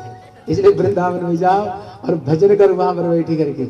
इसलिए इक्यावन, बावन, चौवन बन फिर आता है अड़सठ, साठ, इकसठ बासठ मतलब क्या? फिर सठिया बन जाओगे, तेरे से कुछ बनने वाले नहीं। फिर सठिया हो जाओगे, फिर भजन भजन। में मन नहीं लगे, इसलिए जो अंक है ना, ये बड़ी महत्वपूर्ण अंक बताया। लेकिन उसमें अनहत्तर, सत्तर, इकहत्तर शब्द भी आया। इसलिए गोस्वामी जी कहते हैं हाँ तुम्हारी कल्याण हो सकती है। बोले, कैसे होगी? बोले, सठ सुधरे सत गत पाई। गोस्वामी जी कहते हैं अगर उसी अवस्था में अगर कोई साधु का संग अगर मिल गया ना तुम्हें डंडा मार मार कर हो सकता है, तुम्हें भजन में लगा सकते हैं। क्योंकि प्रभु की भजन में लगा सकते हैं। कैसे? संत ही तुमको भजन में लगा सकते हैं और कोई तुम्हारी कल्याण नहीं कर सकते हैं। इसलिए यहाँ पर कहते हैं, प्रभु का नाम बोले, जन्म जन्म मुनि जतन कराई। जब मुनि लोग जन्म, जन्मांतर तक जतन करते हैं, फिर अंत राम कही, फिर जाकर के अंतिम समय में कहीं राम का नाम निकलेगा, फिर आबत नहीं, फिर संसार में तुम्हें आना नहीं पड़ेगा। ये एक अर्थ है। दूसरा अर्थ है, बोले जन्म जन्म मुनि जतन कराए। देखो, प्रभु का नाम कितना दुर्लभ है। बोले भैया, जन्म, जन्मांतर तक जत्न करने पर भी अंत राम कही आवत नहीं अंतिम समय में भी प्रभु का नाम नहीं निकलती है। नहीं निकलती है। इसलिए उसने अंतिम समय में जो प्रभु का नाम लिया है ना, ठाकुर की बड़ी कृपा है। बोले, भैया हाँ ध्यान देकर सुनो। बोले, भैया, उसने भगवान का नाम कब लिया? वो तो अपना बेटे को बुला रहा था। नारायण किसको नाम था? उसका बेटा का नाम था नारायण। वो तो भगवान को नहीं बुलाया, बेटा को बुलाया। देखो, जमदूत क्या कहते विष्णुदूत क्या कहते हैं? बोले, भगवान का जो नाम है, वो चार ही तरह से ठाकुर का नाम कल्याण करते हैं। बोले, कैसे कैसे? बोले सांकेत्यम पारिहास्यम हेलन वैकुंठ नाम ग्रहणम अशेष अगहरम विदु। बोले, भगवान का नाम चार तरह से कल्याण करती है। बोले सांकेत्यम सांकेत्य मतलब क्या? बोले इशारा करके, संकेत करके, जैसे अजामिली ने छोटा बेटा का नाम नारायण रखा और अपना बेटे को उसने नारायण नाम से पुकारा। इसलिए आप लोग देखना, पहले सबके सब बच्चों का नाम पूछो, जितने बड़े बूढ़ों का नाम पूछो, कृष्णा, गोविंद, नारायण, लेकिन अभी बच्चों का नाम पूछो, टुल्लू भुल्लू टिंकी फिंकी ये सब विदेश में जो कुत्ते हैं ना, ये विदेश में सब कुत्तों का नाम संभल इसलिए बच्चों का नाम कुत्तों का नाम नहीं धरवानी चाहिए। हाँ बच्चों का नाम कुत्तों का नाम मत धरवाओ। अभी अंग्रेज़ी ज़्यादा पढ़ करके ना, अब वृंदावन गए हो कौन कौन वृंदावन गए? हाथ उठाओ तो। वहाँ देखना अंग्रेज़ी मंदिर में जाना। देखना छोटे छोटे बच्चों का नाम पूछना। कृष्ण, गोविंद, दामोदर, राम। छोटी छोटी लड़कियों का नाम। गीता, सीता, ललिता, विशाखा। और हमारी बच्चों का नाम पूछो। क्या नाम रखे हो? पिंकी, फिंकी, टुल्लू, गोलू। हैं? सब कुत्तों का आगे हम बच्चों को अंग्रेज़ी पढ़ा रहे हैं ना? हैं? अभी तो पहले जो पुराना नाम था कृष्ण गोविंद। अभी भगवान का नाम कैसे मुँह से निकलेगा? घर हमारा जीवा खराब नहीं हो जाएगा। बच्चे का बुद्धि नष्ट नहीं हो जाएगा। हम ये नाम नहीं रखेंगे हम तो कुत्तों का नाम धरवाए नहीं, कुत्तों का नाम मत धरवा। इसलिए देखो, ये जितने नाम देना है ना, ये एक बहुत बड़ा साइंस ही है। एक बहुत बड़ी साइंस ही है। बोल, भैया, इसमें क्या साइंस है? बच्चों का नाम ऐसे नहीं धरवाते हैं। उसका नक्षत्र देखते हैं।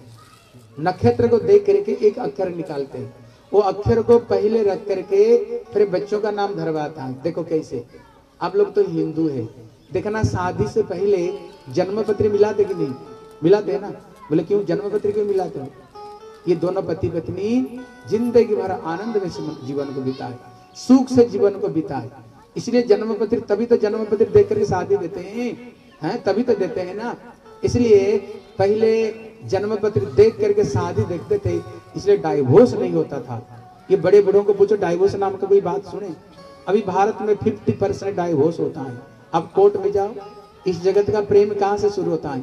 आई लव यू फिर बाद में आई लीव यू लास्ट में आई किल यू कोर्ट में जाकर नंबर कोर्ट में जाकर के लड़ाई। कोर्ट में जाकर कोर्ट कोर्ट कचहरी कर रहे हैं। लेकिन अगर हम ये शास्त्र का हिसाब से चले ना, जीवन में शांति सुख में रहेंगे। एक उदाहरण दिया, देखो जैसे कोई व्यक्ति कोई मशीन निकालता है, हर मशीन को साथ में एक मैनुअल होता है। जैसे ये, जिसने ये मशीन निकाला, कुछ मैनुअल होता है, और वो मेनुआन में लिखा हुआ होता है, इसको कैसे ऑपरेट करोगे, कैसे बंद करोगे, क्या, कैसे दबाओगे, सब उसमें सारी चीज़ डिटेल से रूप में लिखा हुआ होता है। अगर उसको देख करके मशीन को चलाओगे तो मशीन सही चलेगी। अगर उसको बगैर देखे बगैर उल्टा पुल्टा स्विच दबाओगे तो क्या होगा? वो खराब हो जाएगा। इसलिए उसी तरह जब भगवान ये दुनिया को बनाए, उसको साथ साथ में एक मैनुअल भी बना दिया। बोले, भैया, ये दुनिया तेने नहीं बनाई, दुनिया मैंने बनाई। इसको साथ में मनु संहिता पढ़ो, रामायण पढ़ो, गीता पढ़ो, भागवत पढ़ो। जैसे बताया गया, अगर ये संसार में ऐसे रहोगे तो शांति सुख में रहोगे। शांति सुख में दुनिया में रहोगे अगर उसको छोड़ करके मनमर्जी चला, है, फिर तो संसार में सुखी नहीं रहोगे। संसार में सुखी नहीं रहोगे जगत में दुखी दुखी रहोगे। ज़िंदगी भर जलते भुड़ते हुए रहोगे। इसलिए हमें शास्त्र के विधान के अनुरूप चलेंगे। हम संसार में भी, हम सुख में रहेंगे। संसार में शांति में रह सकते हैं। ठीक है ना? इसलिए बच्चों का नाम क्या धरवाना? उल्टा पुल्टा नाम नहीं। सब भगवान की नाम धरवा। जिससे तुम्हारी जीवा पवित्र हो घर पवित्र हो जिसे बच्चे को बुलाओगे उसका कान भी पवित्र होगा। तुम्हारा नाम क्या है? देखो जो लोग कथा करा रहे हैं ना खड़े हो जाओ हीरो। देखो ये, ये बच्चे को देखो। क्या क्या काम करते हो तुम? पढ़ाई करता हूँ। और क्या करते हो? खेलता हूँ। क्या खेलते हो? बॉक्सिंग। ये बक्सिंग खेलता है। देखो इसका पिता माता क्योंकि संतों के साथ में जुड़े हैं ना इसलिए उल्टा पुल्टा नाम नहीं रखे इसका नाम ही नारायण रखे क्यों? उसका परिवार पहले गुरु जी के साथ में जुड़े, अच्छी संस्कार पड़ा, तभी बच्चों का नाम ठाकुर का नाम नाम करवाए। इसलिए अगर आप लोग भी भक्ति करोगे ना, भक्तों के साथ में जुड़ोगे, फिर देखना आपका घर में भी बच्चों का नाम ठाकुर का नाम होगा। बच्चे गलत रास्ता पर नहीं जाएँगे, बच्चे सदमार्ग पर जाएँगे पिता माता को आदर करेंगे पिता माता की सेवा करेंगे। अच्छी संस्कार बच्चों को बढ़ी ठीक है? बोले श्री वृंदावन बिहारी लाल की जय। जय श्री राम। जय राधे जय श्री राधे जय जय श्री श्री राधे इसलिए जमदूतों जमदूतों को विष्णु दूतों ने मार मार कर भगा दिया। विष्णु दूतों ने जमदूतों ने जम महाराज के पास में गए और सारे अस्त्र शस्त्र को चरण में रख दिया। बोले आज से आपको कोई नौकरी नहीं करेंगे। बोले क्यों? बोले, एक बहुत बड़ा पापी था। उसको लेने के लिए गए तो पता नहीं कहाँ से चार हाथ वाले आ गए और हमको इतनी बुरी तरह से, हमें अपमान की बुरी तरह से, ये अपमान का प्रतिशोध लो, नहीं तो हम तो प्राण त्याग करेंगे। बोले, भैया, ये बताओ, मरने से पहले उसने कुछ बोला था?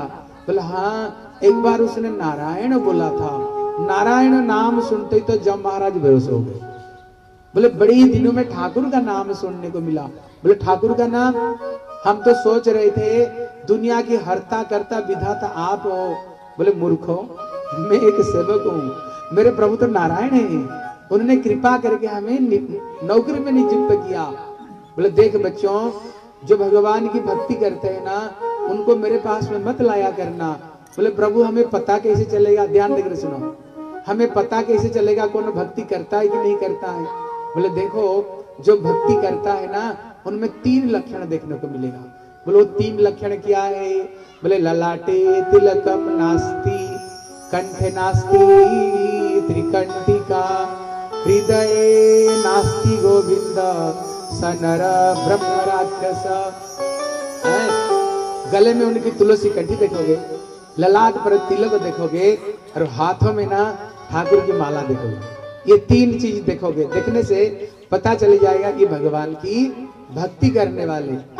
कुछ कुछ लोग कहते हैं ना, अरे भक्ति कर तो अंदर में करो ना, दुनिया को दिखाने का ज़रूरत क्या? गले में कंठी, तिलक पहनो। अरे दुनिया को दिखाने का क्या ज़रूरत तुमके? भक्ति कर तो अंदर में करो ना, दुनिया को दिखा रहे क्यों? देखो, संतों का कहना, जैसे यहाँ पर कुछ माताएँ सधवा बैठी हुई हमें कैसे पता चलता हम सधवा? कौन विधवा? जो सधवा है, सिंदूर लगाए, मांग भरे मंगल सूत्र पहने नाक में बेसर है, हाथ में शंखा है, देखने से पता चलता भैया ये सधवा है। और जो विधवा तो अपने आप पता चल जाती है विधवा है, हैं? भैया ये पति तुम्हारी कब से हुई है? शादी से पहले कोई मतलब था तुम्हारी? बीच में लड़ाई झगड़ा हो गई डाइवोर्स हो गया तो गया। और रहा तो कब तक, जब तक शरीर, उसको बाद में तो गया सारे संबंध। जब दो दिन की पति के लिए हमने इतने श्रृंगार हमने भर दिया है, जो जन्म जन्मांतर का पति जो असली पति हमारी है, हैं? कितना ऐसे बर को क्या बरे जो जन्मे और मर जाए? बर बरी और गोपाल जुसो जो चुड़ल अमर हो जाए। आओ मेरी सखिया, मुझे मेहंदी लगा दो, मेहंदी लगा दो मुझे, सुंदर सजा दो। मुझे श्याम सुंदर की गोपी बना दो। इसलिए ये जो तिलक और ये हम गले में कंठी धारण करते हैं ना, ये असली पति जो श्री गोविंद देव जो हमारी असली पति, उसका ये पहचान है। ये जगत का पति के लिए ये आप लोग सिंदूर मांग भरती हो। असली जो पति भगवान गोविंद देव है, उसका लक्षण है गला में कंठी, तिलक माला, उसकी लक्षण है। और ये जो कंठी तिलक है ना, ये पूरा पूरा साइंस है। ये ये मत समझो, ये केवल मन के भावना नहीं। जब हमारे बड़े गुरुजी अमेरिका गए थे प्रचार करने के लिए, वहाँ पर बोले, भैया, गले में कंठी पहनो। वो तो अंग्रेज़ी लोग हैं। बोले, भैया, ये लकड़ी क्यों पहनेंगे? हमारे घर में सोने चांदी क्या कमी है? हम ये लकड़ी क्यों पहनेंगे? तो उन्होंने बताया, देखो, ये लकड़ी नहीं है। पृथ्वी का सबसे ज़्यादा मेडिसिन ये तुलसी वृक्ष में है। तो उन्होंने ये तुलसी वृक्ष को रिसर्च किए। ये हिंदू लोग ये तुलसी पेड़ को पूजा करते हैं। ये तुलसी की परिक्रमा करते हैं हैं? तुलसी को दिया दिलाते हैं, शादी करवाते हैं, पूजा करते हैं। बोले, भैया, ये पेड़ को इतना पूजा क्यों करते हैं? अमेरिका में इसको रिसर्च किया। रिसर्च करके देखा, पृथ्वी में सबसे ज़्यादा अगर मेडिसिन कही ना, ये तुलसी वृक्ष में आप लोग को दुकान से एक दवा ढूंढना, आज जाकर ढूंढना। तुलसी पावर उसका नाम। पूछना आपके पास में है। देखना, इतना बड़ा शीशी मिलेगा। इतना बड़ा पेपर मिलेगा। मेरे को कल पढ़ करके बताना, उसमें क्या लिखा हुआ है? उसमें दो सौ बीमारी का नाम लिखा हुआ है। जगत में ऐसे कोई बीमारी नहीं जो कि ये तुलसी की जूस से पातंजलि में जाकर के भी ढूंढना। तुलसी की जूस बोतल में मिलेगा वहाँ पर आपको। अब पढ़ करके देखना उसमें क्या क्या लिखा हुआ है? कुछ दिन पहले पेपर में आया था, प्रकृति की अवदान। ये तुलसी वृक्ष दिया हुआ था। कहते दो दो तुलसी पत्ता रोज जो खाएगा ना, कभी टीबी कैंसर ज़िंदगी में तुम्हें नहीं होगी। कभी टीबी कैंसर भी नहीं होगी तुमको जीवन में। ऐसे कोई मेडिसिन नहीं, ये तुलसी वृक्ष में नहीं। इसलिए गले में जब कंठी धारण करते हैं, स्नान करो, कंठी को स्पर्श करते हुए जब शरीर में जाएगा, सारी बीमारी तुम्हारी अपने आप निकाल देगा, सारी बीमारी। आप लोग तो हिंदू हैं देखना सालग्राम के साथ में तुलसी की शादी होती है। देखा कि नहीं? देखा सालग्राम के साथ में तुलसी की शादी होती है। ये तुलसी कौन? माँ लक्ष्मी। अगर गले में कंठी है ना, माँ लक्ष्मी की निवास हो गई।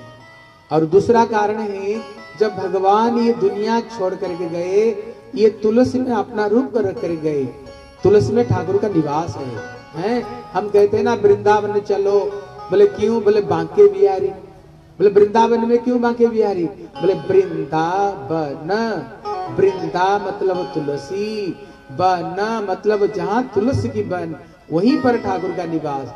अगर गले में तुलसी कंठी है ना, लक्ष्मी नारायण की निवास हो गया दोनों की निवास। हाँ देखो, हम इसको गले में क्यों धारण करते? इस चीज़ को समझो। हम लोग कंठी, देखो, यहाँ पर धारण किया ना, इसको कहते कंठी। कंठी मतलब जो कंठ में लगा हुआ रहे। हम इसको कंठ में क्यों धारण करते हैं? ये चीज़ को अच्छी तरह से समझो। कितने बड़े साइंस ये। बोले, शरीर का जो सबसे कोमल अंग, ये कंठ है। किसी व्यक्ति को मारना हो, ज़्यादा कुछ करने का ज़रूरत नहीं। केवल गला दबा दो, खत्म हो जाएगा। इसलिए शरीर को अंदर में जब कोई गंदी चीज़ प्रवेश करती है, वो कंठ से। बच्चों को ताबीज कहाँ पहनाते हो? कहाँ पहनाते हो गले को? ताबीज। कंठ में पहनाते बोले, क्यों? कोई गंदी चीज़ बच्चे को अंदर में प्रवेश न, नहीं करे। इसलिए गले से प्रवेश करता है। अगर यहाँ पर तुलसी कंठी है ना इसमें कौन हो गए? सारे मेडिसिन हो गए लक्ष्मी और नारायण हो गए इसमें हैं? इसलिए कोई भी गंदी चीज़ आएगा अंदर में प्रवेश करने नहीं देगा आपको। आपको हर चीज़ से गंदी चीज़ से ये रक्षा करेगी तुलसी। इसलिए हम इसको कंठ में धारण करते हैं। अब श्री जमदूत जब महाराज को पूछे बोले, भैया पता कैसे चलेगा? कौन भक्ति करता, नहीं करता? देखो उन्होंने बहुत बढ़िया उदाहरण दी बोले, दो तरह के कुत्ते होते हैं। एक एक पालतू कुत्ता और एक फालतू कुत्ता। आप देखना, जो पालतू कुत्ते हैं ना, गले में पट्टा बंधा हुआ रहता है। देखने से पता चलता है किसी घर के कुत्ते। और जो फालतू कुत्ते बिन्ने पट्टे के जो रोड रोड में घूमते हैं। देखना, पालतू को तो कोई मारते नहीं और फालतू को कोई छोड़ते नहीं। इसलिए गले में अगर हम तुलसी कंठी हम किसके पालतू हो गए? श्री गोविंद देव के हम पालतू हो गए, ठाकुर जी के पालतू। अगर गले में कंठी नहीं तो फिर हम क्या हो गए? बोलो। बोलो, क्या हुए? अरे ज़ोर से बोलो। हाँ बताओ, हमें पालतू होनी चाहिए ना फालतू होनी चाहिए?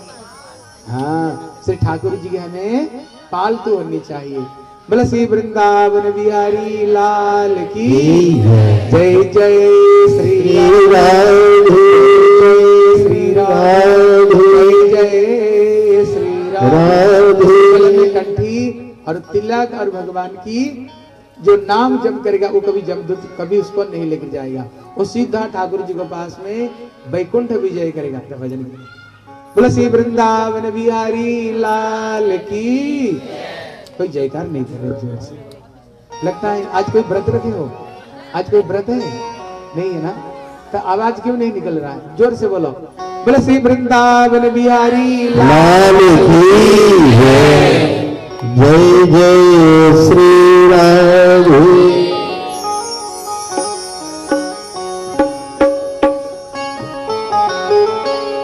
राधे तू बड़ी भागिनी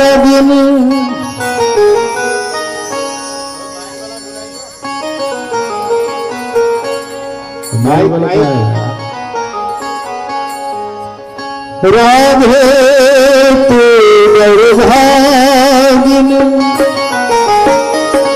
कौन तपस्या की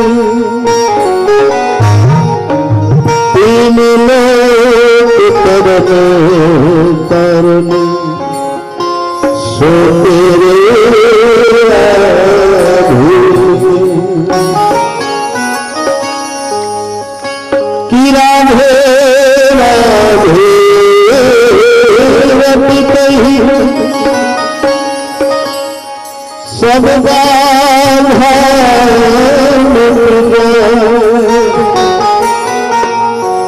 कोटि जन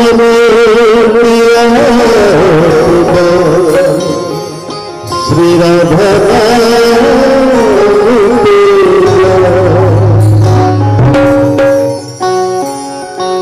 मिठिर से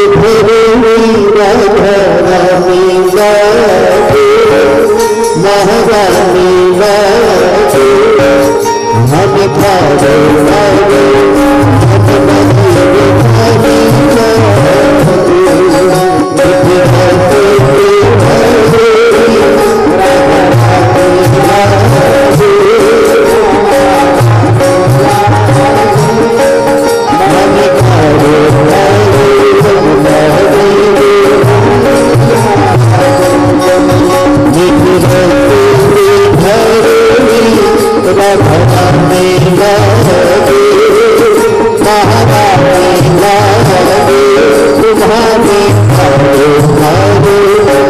देखो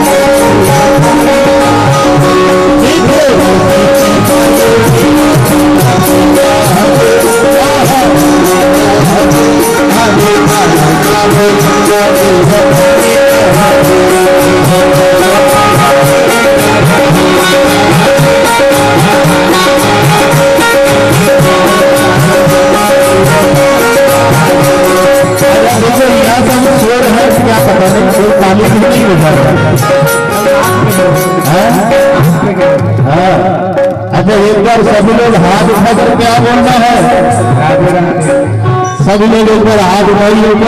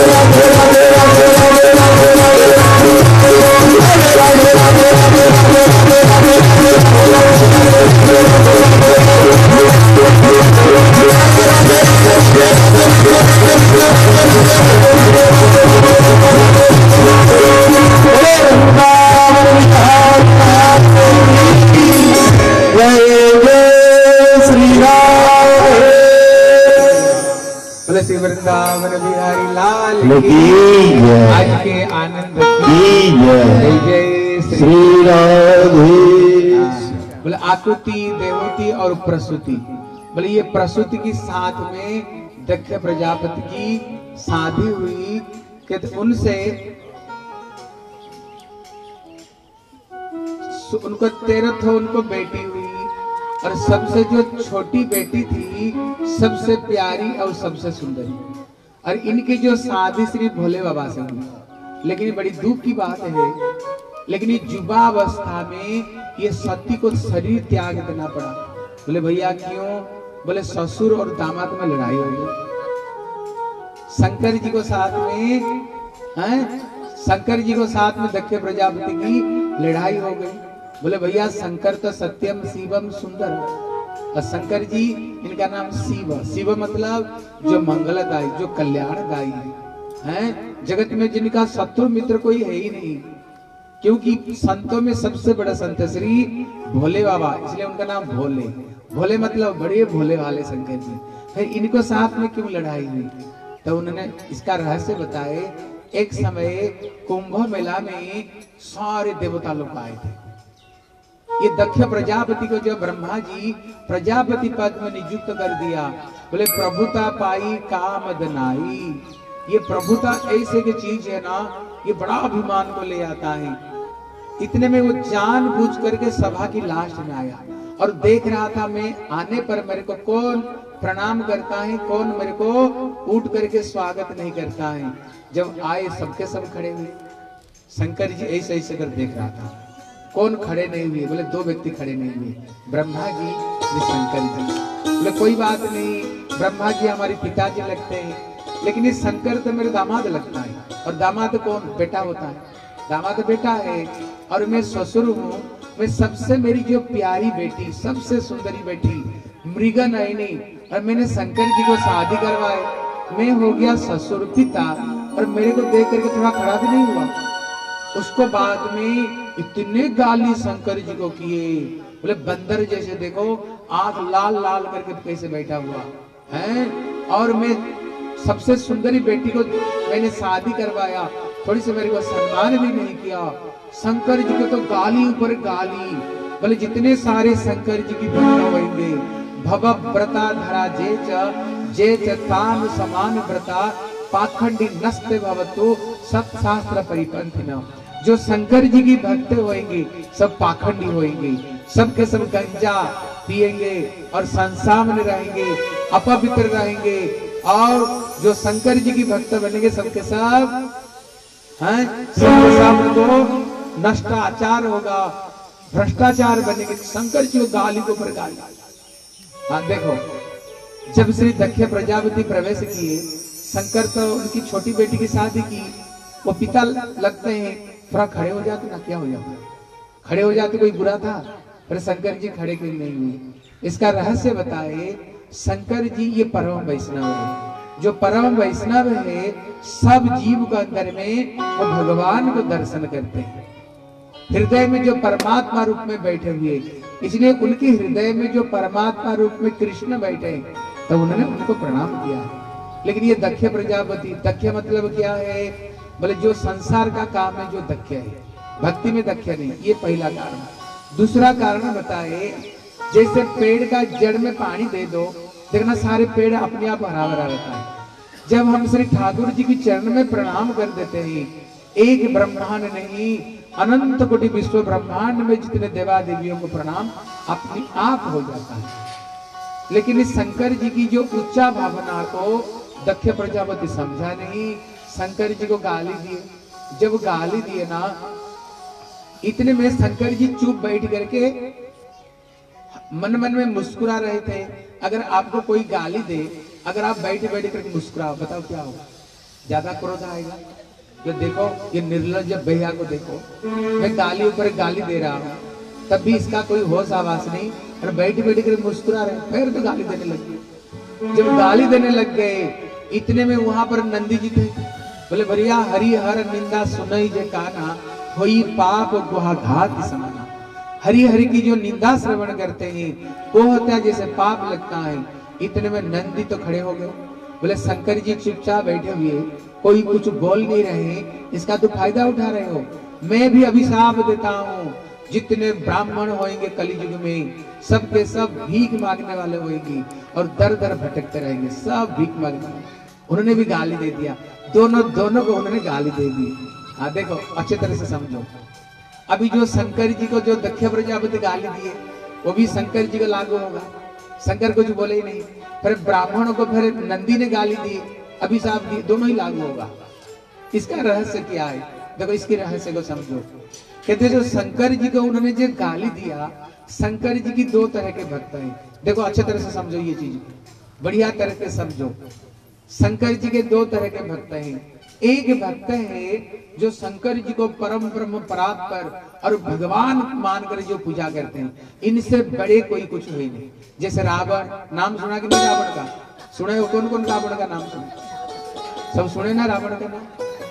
किसका पूजा पुजारी किसका था? तो उसको लास्ट में क्या हुआ है? सारे लंका ध्वंस हो गया। सारे ध्वंस हो गया लंका। उसको लंका में सब के ध्वंस हो गए। क्यों? शंकर जी को ये साक्षात भगवान मानकर पूजा करता था, है? लेकिन शंकर जी कौन है? बोले वैष्णवा नाम जथा शंभु शंकर जी भगवान के सबसे प्यारे भक्त हैं। शंकर जी की कृपा से ही ठाकुर जी की भक्ति मिलती है, हैं? शंकर जी की एक भक्त थे, नरसिंह भक्त वो शंकर जी के एक अधिष्ट भक्त थे। एक दिन शंकर जी प्रसन्न हो गए। बोले, बेटा बर्मा मांगो क्या चाहते हो? बोले, प्रभु, मैं तो आपका बच्चा हूँ। आप तो मेरे पिता हो। बच्चे को क्या पता अच्छा बुरा? अगर आप कुछ देना चाहते हो, आपका जो सबसे प्यारा चाहिए हमें दो। शंकर जी बोले, मेरे सबसे प्यारा श्री भाग्य बिहारी श्री गोविंद देव मेरे सबसे प्यारे हैं। इसलिए आज तेरे को मैं गोविंद देव की भक्ति प्रदान करता हूँ। शंकर जी की कृपा से इतने बड़े वो संत बने नरसिंह भक्त जिसकी बेटी की शादी में कृष्ण स्वयं, उनकी भात भरने के लिए कृष्ण गए। इसलिए जो माता देवी शंकर जी, माता जी कौन? वैष्णवी। शंकर जी कौन? वैष्णव। इसलिए रामचरित मानस पढ़ना, जब गोस्वामी जी रामचरित मानस लिखते हैं, शंकर पार्वती को गुरु रूप में वंदना करते हैं। क्यों? इनकी कृपा से ही जीव को प्रभु की भक्ति मिलती है। ये प्रभु की प्रेम को देने वाले। इसलिए आप इनसे भक्ति प्रार्थना करना, ठाकुर जी को प्रेम मांगना। अगर जो इनको साक्षात भगवान रूप में भजन करते हैं, तब उनकी ये अभिशाप है। जितने शंकर जी भक्त होंगे, नष्टाचार, भ्रष्टाचरित, गंजा फूकेंगे, क्रोधी, कामी, त्रिशूल लेकर घूमेंगे, इन लोगों पर ये अभिशाप है। ये अघोरियों को पर नहीं। जो शंकर जी की जो सदाशिव स्वरूप है, उनको जो भक्ति करते हैं, उनको प्रभु की प्रेम और भक्ति मिलती है। बोले, ब्राह्मण को अभिशाप दिया बोले भैया, ये कौन ब्राह्मण? बोले, कर्मकांडी ब्राह्मण। जो भक्ति करने वाले ब्राह्मण नहीं, जो प्रभु को प्रेम, भक्ति करते हैं, ये ब्राह्मण तो कृष्ण स्वयं ब्राह्मण की पूजा करते हैं। ठाकुर जी कहते नम ब्राह्मण देवाय, गो ब्राह्मण हिताय थे ठाकुर स्वयं ब्राह्मण की पूजा करते हैं, जो प्रभु की भक्ति करते हैं, ठाकुर भी उनको भक्ति करते हैं। इसलिए दोनों दोनों को अभिशाप दी। शंकर जी दुखी होकर के चले गए। इतने में फिर शंकर जी शंकर जी को अपमान करने के लिए फिर से दक्ष प्रजापति कनखल में यज्ञ किया। सबको उन्होंने निमंत्रण दिया, लेकिन शंकर जी को निमंत्रण नहीं दिया। माता पार्वती देखा, सबके सब बहन दामाद जा रहे हैं। शंकर जी से प्रार्थना किया, चलो हम दोनों भी चलते हैं। बोले, कोई निमंत्रण नहीं आया। बोले, देखो, ऐसे कुछ स्थान हैं जो बगैर निमंत्रण के भी जा सकते हैं। बोले, कहाँ कहाँ पर? जैसे पिताजी का घर में, जैसे पिताजी के घर में कोई उत्सव हो रहे हैं, जैसे हमारे श्री प्रभु दयाल प्रभु जी, इनके घर में भागवत कथा हो रही है। अगर कोई बेटी सोचे, अभी पिताजी का तो कोई निमंत्रण नहीं आया, मैं कहीं जाऊँ बोले, नहीं, पिताजी का घर पिताजी घर में बगैर निमंत्रण के, क्योंकि पिताजी का घर अपना घर है, अपना घर है। इसलिए पिताजी के घर के लिए कोई निमंत्रण की ज़रूरत नहीं। दूसरा कौन? बोले गुरु जी नहीं गुरु जी तो हमें बुलाया नहीं। गुरु जी हमें याद नहीं करवाया। हाँ गुरु जी हमें स्मरण नहीं करा। इसलिए हम कैसे जा सकते? बोले, नहीं गुरु जी का घर भी पिताजी का घर है। इसलिए वहाँ पर भी बगैर निमंत्रण के जानी चाहिए। बोले, तीसरा स्थान कहाँ पर? बोले, भगवान की कोई उत्सव हो रहा है, हैं? ठाकुर जी क्यों? तुमेव माता च पिता तुमेव। भगवान के पास में कोई निमंत्रण की ज़रूरत नहीं, बगैर निमंत्रण के भी जा सकते हो। बोले, पिताजी घर से निमंत्रण क्या ज़रूरत है? बोले, नहीं, मैं जाऊँगा नहीं। शंकर जी को पता है ना, मेरे को अपमान करने के लिए बुलाया गया। माता देवी ने शंकर जी के आदेश को उन्होंने उल्लंघन किया और चली गई। नियम है घर से जब जाओ ना, पति को पूछ करके जाओ। बिना पति को पूछ करके नहीं। लेकिन माता देवी बिना पूछे और कुछ बिना आदेश के उनने चली गई और वहाँ पर सभी का भाग देखा। लेकिन केवल शंकर जी की भाग नहीं, बड़ी दुखी होकर के वहीं पर शरीर उसने त्याग दी। इतने में शंकर जी को पता चला तो उसने वीरभद्र को भेज दिया और वीरभद्र जा करके जितने वहाँ पर ऋषि मुनि थे, किसका टांग तोड़े किसका आग निकाल दिए, किसकी दाढ़ी उखाड़ दिए एकदम तसनस कर दिए जगह को। सबके सब वहाँ से भाग गए, सबके सब। और दक्ष प्रजापति का सर काट करके स्वागत किया। फिर सारे देवता लोग शंकर जी को पास में आए, शंकर जी को मनाए। शंकर जी बड़े दयालु, शंकर जी बड़े कृपालु। फिर शंकर जी जा करके फिर उसका सर पर बकरी का सिर लगा दी। फिर दक्ष प्रजापति ने शंकर जी के पास में माफ़ी मांगी। बोले, प्रभु जी, मेरे अपराध को आप माफ़ कर दो। ऐसे ही फिर शंकर जी यज्ञ को उन्होंने पूर्णाहुति रूप में उसको फल प्रदान किया। बोले श्री वृंदावन बिहारी लाल की भागवत में श्री भरत महाराज की कथा थी। पहले हमारा भारत का नाम था अजनव वर्ष। लेकिन ये भारत को जब नौ भाग में विभक्त की गई ऋषभ देव के नौ बेटे थे क्षत्रिय बेटे थे। और ये भारत का जो हिस्सा भरत महाराज की हिस्सा में आए इसलिए उनका नाम पर भारत का नाम पड़ा श्री भारत वर्ष नाम पड़ा। इन्होंने ऋषभ देव ने नौ बच्चों को राज्य संभाल करके उन्हें भजन करने के लिए चले गए। और जाने से पहले उनको उपदेश दिया। क्या उपदेश दिया? बोले, वही पिता पिता है, अगर बच्चों को भक्ति का रास्ता दिखाए। वही माँ माँ है, अगर बच्चों को प्रभु का भजन का रास्ता दिखाए। वही बंधु बंधु है, जो बच्चों को प्रभु का रास्ता दिखाए। कहते, वो माँ माँ नहीं, वो पति पति नहीं, वो भाई भाई नहीं, वो परिवार परिवार नहीं। अगर हमें प्रभु की भजन का रास्ता में नहीं चलाया तो। ऋषभ देव ने कहा, मैं तुम्हारी पिता हूँ, मेरा कर्तव्य है बच्चों को भक्ति की मार्ग पर चलानी चाहिए। इसलिए बच्चों, ये जीवन बड़े भाग्य से मिला है। ये जीवन पाकर भगवान की भक्ति करना, प्रभु की भजन करना, उन्होंने चले गए सन्यास लेकर के, फिर भरत महाराज युवा अवस्था में भजन करने के लिए गए। लेकिन उन्होंने एक हिरण का प्रति आसक्ति हो गई। आप सारी कथा जानते हो। एक हिरण का प्रति आसक्त हुए और मरने से पहले उन्होंने हिरण की याद किया तो दूसरी जीवन में हिरण बन करके आए। देखो, यहाँ पर शिक्षा देते हैं, भारत महाराज तो केवल एक हिरण का प्रति आसक्ति थे। अगर हमें पूछा जाए, आपका आसक्ति कहाँ पर? आप बताओ कहाँ आसक्ति? बेटे में, नाती में, पोती में दुकान में, घर में, पत्नी में, घर में कि सुई धागा में भी हमारा आसक्ति है। फिर बता, मरने के बाद फिर क्या होगा? वो तो केवल अपना के हिरण के प्रति आसक्ति होकर हिरण बनी। इसलिए ये भागवत में बताया जो मानव शरीर ना, ये कर्म जोनी है। और जितने जोनी है, सबके सब भोग जोनी ये मानव जन्म में इतने कर्म बनता है, एक कर्म को भोगने के लिए चौरासी लख जन्म हमें भटकना पड़ता है। एक जन्म में इतने कर्म बन जाते हैं। देखो, मेरी तरफ़ में देखो। हम ऐसे कौन सा काम करें, हम घर में रहे। बच्चों को साथ में रहे, पत्नी को साथ में रहे, पूरा परिवार को साथ में रहे। लेकिन ऐसे क्या करे, हमें ये संसार का बंधन प्राप्त नहीं हो। श्री चैतन्य महाप्रभु कहते हैं, गृह बा बने ठाकुर सदा हरि बोले जाता अपना घर को भगवान की मंदिर का स्वरूप दो। आप भी भजन करो, बच्चे भी भजन करे, पति भी भजन करे, हैं? घर में ठाकुर का कीर्तन, पूजा पाठ हो। अब देखना, जब एक व्यक्ति शरीर छोड़ता है ना, उसका पूरा परिवार चार तरफ़ में घिरे हुए होते हैं। बेटी कहते हैं, पिताजी, पहचान रहे हो, मैं आपकी बड़ी बेटी हूँ। दामाद कहता है, ससुर जी, मैं आपकी छोटा दामाद हूँ। नाती पोती कहे दादाजी पहचान रहे कि नहीं? आप देखे होंगे मरते समय वो सबको ऐसे ऐसे देखते देखते देखते देखते अंतिम समय पर शरीर छोड़ता है। फिर उसी कर्म को लेकर के फिर चौरासी लख जोनी में जी भटकता है संसार में भटकता है। हाँ ऐसे क्या काम का? ध्यान देकर सुनो। ये, ये, ये समझने का चीज़ है संसार को कृष्ण का परिवार बनाओ। आप भी भजन करें बच्चे भी भजन करें पति भी भजन करें। अगर मरते समय, अंतिम समय में अगर पति को भी याद करते करते मरोगे, अगर तुम बेटे को भी याद करते करते मरोगे, अपना पत्नी को भी याद करते करते मरोगे, ना सीधा वैकुंठ जाओगे बोले, कैसे? अगर सबकी गला में कंठी हो, सबकी ललाट में तिलक हो, अगर सबके सब अगर ठाकुर जी की नाम जप करते हैं, भगवान की भक्ति करते हैं, अगर मरते मरते उनको सोच सोच करके जाओगे ना, सीधा वैकुंठ जाओगे। बोले, क्यों? बोले, तेरे बेटा भी भजन कर रहे हैं, जिसको देख करके तू जा रहे हो। वो भी तिलक लगाए, वो भी गला में कंठी पहना हुआ। है? जिस पति को तुम भजन कर, प्रेम करते हो, वो पति भी भजन कर रहा है।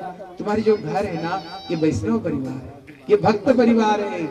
अगर इसके प्रति तुम्हारी आसक्ति होगा ना, एकदम बंधन नहीं होगा। सीधा भगवत धाम में जाओगे। अगर कोई भक्ति नहीं कर रहे भजन नहीं कर रहे अगर उनको याद करते करते जाओगे, जड़ भरत जैसे तुम्हें हिरण जन्म लेना पड़ेगा। फिर तो चौरासी लख के जीवन में भटकोगे तीसरा जीवन में भरत महाराज फिर जड़ बन करके आए। जड़ नहीं, वो सही थे। उन्होंने जान बुझ करके लिखाई पढ़ाई नहीं किया। क्यों? उनको पता है भारत वर्ष का मैं राजा था युवा अवस्था में छोड़ करके आया और हिरण के प्रति आसक्ति हुई तो हिरण हो गई। फिर दूसरी जीवन में हिरण बन करके फिर भजन किया, संतों की उचिष्ट को खाए, फिर तीसरे जीवन में जड़ बन करके, जड़ नहीं, वो सही थे। इसलिए उन्होंने जान बुझ करके पढ़ाई लिखाई नहीं किया।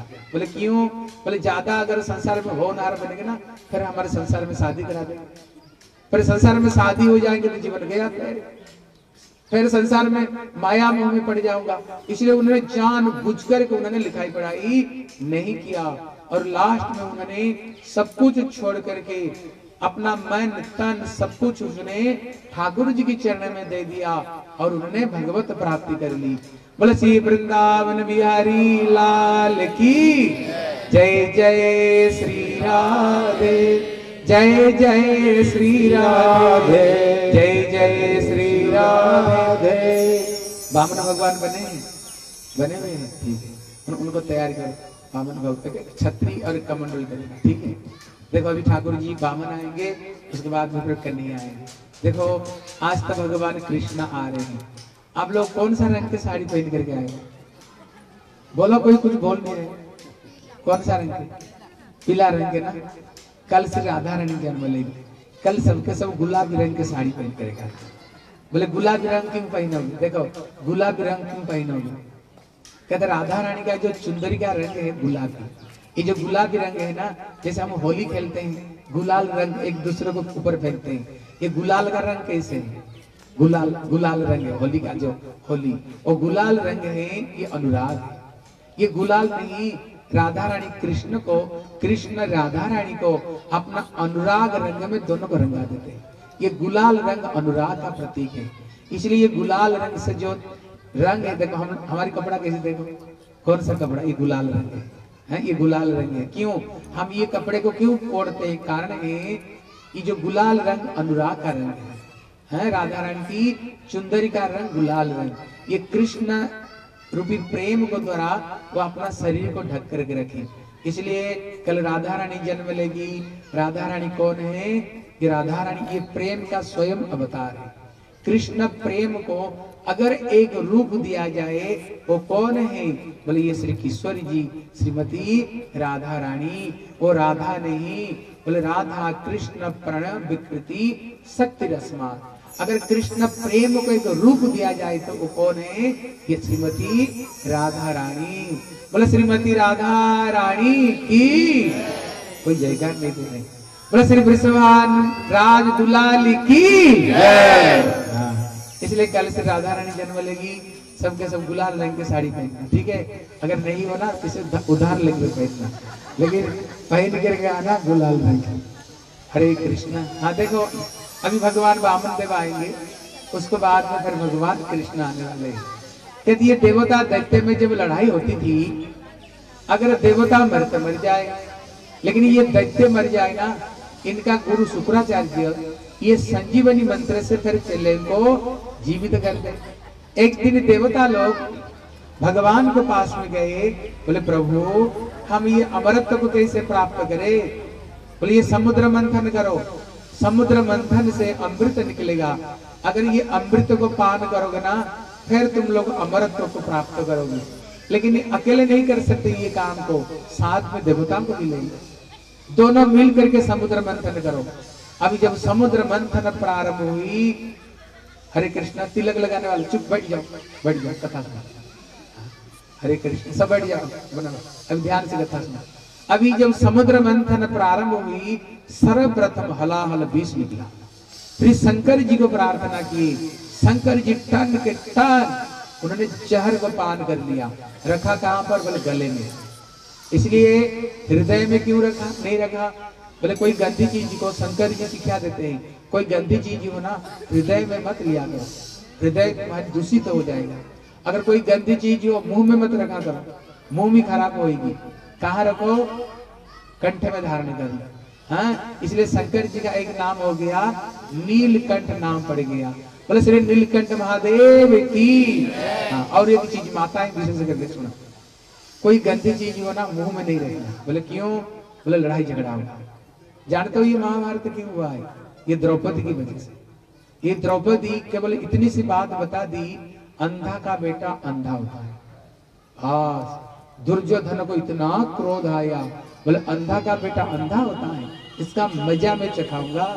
फिर भरी सभा में द्रौपदी को वस्त्र हरण करने के लिए कोशिश की, और इसको देख करके पांडव लोग इतने क्रोधित हुए, और वहीं पर, वहीं से ही शुरुआत हुई। इसलिए देखना, हर चीज़ में जीवा है। हर चीज़ में हड्डी है, लेकिन एक चीज़ में हड्डी नहीं। हाथ में हड्डी, हाथ सीधा हो जाता है। अंगुल में हड्डी, अंगुल सीधा कर दो। कमरे में हड्डी, हम बैठे हैं। पैर में हड्डी चलते हैं, लेकिन एक चीज़ में हड्डी नहीं। किसमें हड्डी नहीं बताओ तो? जीव में हड्डी नहीं। इसलिए हर समय लपर लपर में कुछ ना कुछ है ना, ये बोल, बोलना चाहता है। सब समय बोलना चाहती है। आप घर घर में भाई भाई में क्यों लड़ाई? भाई भाई में लड़ाई नहीं। आपस में बहु बहु थोड़ी सी जीवा कैसे स्लिप कर गया? कुछ हुआ नहीं कुछ। जीवा कैसे थोड़ी सी फिसल गई? बोले, उसने हमें ऐसे बोला ना, है? जाकर पति को कान भरी। हमको उसने ऐसे बोला ऐसे बोला, बस। भाई भाई में घर घर में फिर तो लड़ाई झगड़ा शुरू हो जाती है। हाँ। बोले, मैया सीता ने कुछ गड़बड़ी की? ये रामायण क्यों हुई? बोले, मैया सीता ने, मैया सीता कभी करती नहीं। ये तो जगदम्बा जगत जननी लक्ष्मी है। लेकिन दुनिया को माता सीता सिखा देती है? बोले, मैया सीता ने क्या गड़बड़ की? जिस समय मारिच ने हिरण बन करके आया, मैया सीता बोले, हिरण को पकड़ करके ला दो। अभी रामचंद्र हिरण को पकड़ने के लिए गए, बोले, लक्ष्मण, सीता को अकेले छोड़कर जाना नहीं कभी किसी अवस्था में। इतने में जिस समय राम ने बाण मारे, मारिच को, वो तो था राक्षस। बड़ी ज़ोर से चिंग चिंग करके बोले, भैया लक्ष्मण भैया लक्ष्मण, बचाओ। सीता ने बोले, लक्ष्मण, तुमने सुना है? राम को ऊपर कोई विपत्ति पड़ी, लेकिन लक्ष्मण को पता है। भैया के ऊपर कोई विपत्ति आ ही नहीं सकती, भगवान है। बोले, भैया ने मेरे को बोल कर गए, मैं आपको छोड़ कर अकेले नहीं जा सकता हूँ। सीता जी ने क्या बोली, इतने केवल बोल दी बोले, अभी मैं समझ रही हूँ तो क्यों आ रही थी साथ में? ये सोच रहे हो राम मरने पर तो मेरे को शादी करने लक्ष्मण तो माता को अपना मैया मानती है, कभी उनको मुँह तक भी नहीं देखे, चरण के सिवाय, हैं? इसलिए जब ये बात को बोले, लक्ष्मण ने कहा, कभी मैंने राम का आदेश को कभी मैंने अवमानना नहीं की। जीवन में पहला बार मैं राम का आदेश को अवमानना करता हूँ। उन्हें लक्ष्मण रेखा काट कर गई लेकिन सीता ने और एक गलती की, बोले, क्या की? लक्ष्मण रेखा को उसने पार कर दी। देखो, यहाँ पर शिक्षा देते हैं, माताओं को दो काम नहीं करनी चाहिए। पहला काम तो अपना मर्यादा को कभी लंघन मत करो। लक्ष्मण रेखा को क्रॉस किया तो क्या हुआ, रावण उसको उठा करके ले गया। अगर माताओं को सावधान करते हैं, हम भी अगर ये रेखा को, मर्यादा रेखा को अगर लंघन करेंगे ना, हमें भी कोई रावण उठा करके ले जाएगा। इसलिए कभी ये रेखा को भी हमें क्रॉस नहीं करनी चाहिए। और दूसरी शिक्षा दिए कभी भी ये जीवा को चलाना। ये जीवा को कभी चलाना नहीं उल्टा पुल्टा चीज़ नहीं बोलना। बोल करके संसार में लड़ाई मत लगाया करो। इसलिए इसलिए शंकर जी शिक्षा देते हैं, अगर कोई गंदी चीज़ हो ना, इसको कंठे में रख लो। जीवा में मत रखा करो और इसको हृदय में भी मत रखा करो। अपना कंठे में रखोगे तो आनंद रहेगा। ठीक है? इसलिए फिर समुद्र मंथन हुई, उससे माँ लक्ष्मी स्वयं निकली बताओ, लक्ष्मी किसी ज़रूरत में सारा दुनिया पागल लक्ष्मी के लिए। लक्ष्मी बोली, ऐसे नहीं, लाइन अगर खड़े हो जाओ अपना मन मर्ज़ी में पति चुनोगी, हैं? इतने में सबको पास में बरमाला लेकर गई लेकिन सबके अंदर में उन्होंने कुछ ना कुछ उन्होंने कमी देखा। लेकिन जब नारायण के पास में गई, सर्वगुण संपन्न देखा तो भगवान, ये नारायण है। लेकिन वहाँ भी एक दोष दिखा, बोले, क्या? बोले, नारायण को तो मैं चाह रही हूँ, लेकिन नारायण मुझे नहीं चाह रहे फिर लक्ष्मी सोच रही है, बोले, नारायण मेरे को क्यों चाहेंगे? क्योंकि वेद कहता है वो पूर्ण मद पूर्ण मिदम पूर्ण स पूर्ण मुदच्यते भगवान पूर्ण है उनकी किसी चीज़ की कमी नहीं। लेकिन मेरी कमी है प्रभु मुझे नहीं चाहिए प्रभु को मैं नहीं चाहिए लेकिन मेरे को प्रभु चाहिए। तब उन्होंने नारायण की गला में उन्होंने माला डाल दिए। बोले श्री लक्ष्मी नारायण की। फिर समुद्र मंथन हुई धन्वंतरि ने अमृत लेकर के निकला। अभी तो देवता दैत्य में लड़ाई शुरू हो गई। देवता लोग दैत्य लोगों ने ज़ोर ज़बरदस्ती उन्होंने अमृत को छीन लिया जब अमृत को उन्होंने छीन लिए, अभी भगवान ने देखा, अगर दैत्य लोग अमृत पी लेंगे, अमर हो जाएँगे, फिर दुनिया के लिए हानि प्रकार तब भगवान मोहिनी अवतार लिए। इतने सुंदर ठाकुर जी बन करके आए थे। उनको देख करके जो लड़ रहे थे ना आपस आपस में, अमृत पीने के लिए लड़ाई करते दैत्य लोग तो विशेष करके पागल हो गए। मोहिनी से बात करने के लिए इतने उतावला हो रहे थे। एक कहने का, मोहिनी मोहिनी तो कहाँ से आई हो? दूसरे धक्का मार के तेरे को बात करना नहीं आता है। बोले, मोहिनी, बताओ, तेरे पिताजी का नाम क्या है? मैया तो पागल हो गए सबके सब। मोहिनी बोले, भैया, बात कि आपस आपस में क्यों लड़ रहे हो? बोले, हम दोनों भाई लगते हैं। बोले, लड़ रहे क्यों? बोले, अमृत पीने के लिए। बोले जो पीले पीले रंग के सब, जो तिलक लगा रखे, जो पीले पीले रंग कौन है? बोले, ये हमारे भाई है। हमारे भाई लगते हैं। बोले, भाई हो, जो कुछ हो। इतने में दैत्य लोगों ने कहा, मोहिनी, अमृत पिएँगे तो तुम्हारी हाथ में। लेकिन मोहिनी ने बोले, देखो मैं जो कुछ कर सकते हूँ, लेकिन बीच में कुछ बोलना नहीं। बोले, बीच में हम कुछ भी नहीं बोलेंगे। बोले, दो लाइन करके बैठ जाओ पहले मैं देवता को ऊपर ऊपर का पानी पिला दूँगी। बाद में जो गाड़ी गाड़ी रह जाएगी ना, फिर दोनों बैठ करके पिएँगे बोले, मोहिनी, भले ही अमृत नहीं मिले, तू मिल गया ना, हमें सब कुछ मिल जाएगा। इतने में भगवान देवता को तो अमृत पिला रहे थे, लेकिन दैत्य तरफ़ में केवल तेरी चितवन से देख रहे थे और थोड़ी थोड़ी मीठी मीठी मुस्कुरा रहे थे। दैत्य लोगों का तो अमृत के प्रति ध्यान ही नहीं। उनको ध्यान तो मोहिनी के ऊपर में और मीठी मीठी मुस्कुराहट के ऊपर में। इतने में एक दैत्य था सौरभानु नामक बोले, भैया, लगता है कुछ गड़बड़ी है। ये नया, है? ये नया दोस्त लगता है कुछ गड़बड़ी है। हो ना हो, सारे अमृत इसको ही पिला नहीं दे। इतने में चंद्र, सूर्य को बीच में बैठ करके उसने अमृत को पी लिया चंद्र सूर्य बोले प्रभु, ये देवता ने ये दैत्य धोखे से अमृत पिया। भगवान चक्र को बुलाए और गला काट दिए जब गला काट दिए ना, देखो, हम लोग ये प्याज, लहसुन क्यों नहीं खाते। इसका क्या रहस्य है? आप लोग नवरात्र के व्रत रखते हो? कौन कौन रखते हो नवरात्रि आप लोग प्याज, लहसुन नौ दिन तक खाते हो? क्यों नहीं खाते? अब तक क्यों नहीं खाते? नौ दिन तक ये प्याज लहसुन क्यों नहीं खा रहे? आ, इसका मतलब है ये माता जी को ये चीज़ पसंद नहीं। तभी तो नहीं खाते हो। क्या मैया को नौ दिन के लिए खुश रखना फिर खा करके फिर नाराज़ कर दो उनको। हाँ देखो इसका क्या रहस्य है?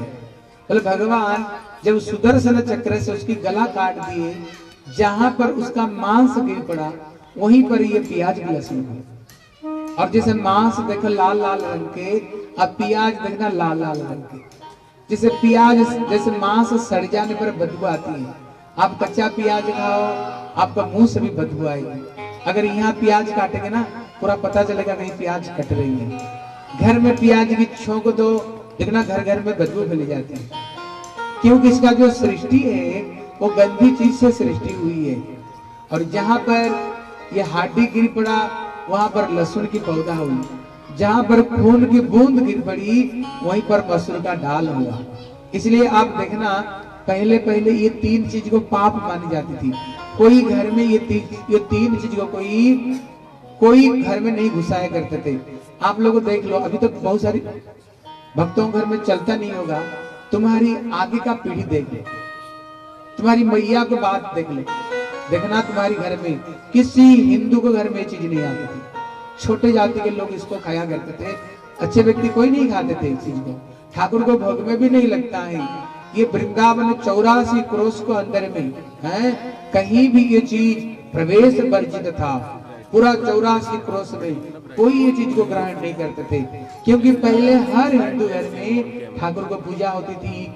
ठाकुर जी को भोग लगता था, है ना, हर घर में। ठाकुर जी को भोग में तो ये चीज़ लगती नहीं। इसलिए कोई ये चीज़ नहीं खाते थे। लेकिन कलियुग का प्रभाव से वो धीरे धीरे धीरे धीरे लोग इस चीज़ खाना शुरू कर दिए। इसलिए आप लोग कोशिश करना, ये तामस की वस्तु है, हैं? लेकिन हम लोग क्या कहते हैं? अरे, ये बगैर प्याज, लहसुन के स्वाद नहीं आता। ये स्वाद नहीं है, ये बदबू है। लेकिन इसको हम खा खा करके स्वभाव को बिगाड़ दिया है। हमने स्वभाव को बिगाड़ दिया हैं? अगर किस चीज़ में प्याज लहसुन डालो ना, हर सब्ज़ी का एक अलग स्वाद है। दाल का अलग स्वाद, हर सब्ज़ी के एक अलग स्वाद। अब प्याज लहसुन डाल दो। ये दोनों दैत्य आकर के ना, गुंडे आकर के सारे टेस्ट को खत्म। बोले, हम दो गुंडे आ गए हैं। अब उससे प्याज की बदबू और लहसुन की बदबू आ गया उसमें। और कोई चीज़ नहीं, है? इसलिए कोई चीज़ नहीं। देखो, अपना घर में खाना बनता होगा। कभी कभी अच्छे अच्छे कोई त्योहार में, जैसे कहीं ठाकुर को भोग लगता होगा किसी किसी दिन देखना घर में अगर प्याज, लहसुन खाते रोज खाते हैं। लेकिन किसी दिन जब ठाकुर में कोई उत्सव हो, ठाकुर को भोग लग करके जब खाना खाते हो, देखना उसमें कोई अलग स्वाद आता है। सबसे अलग दिन से अलग स्वाद आएगा। क्यों? क्यों?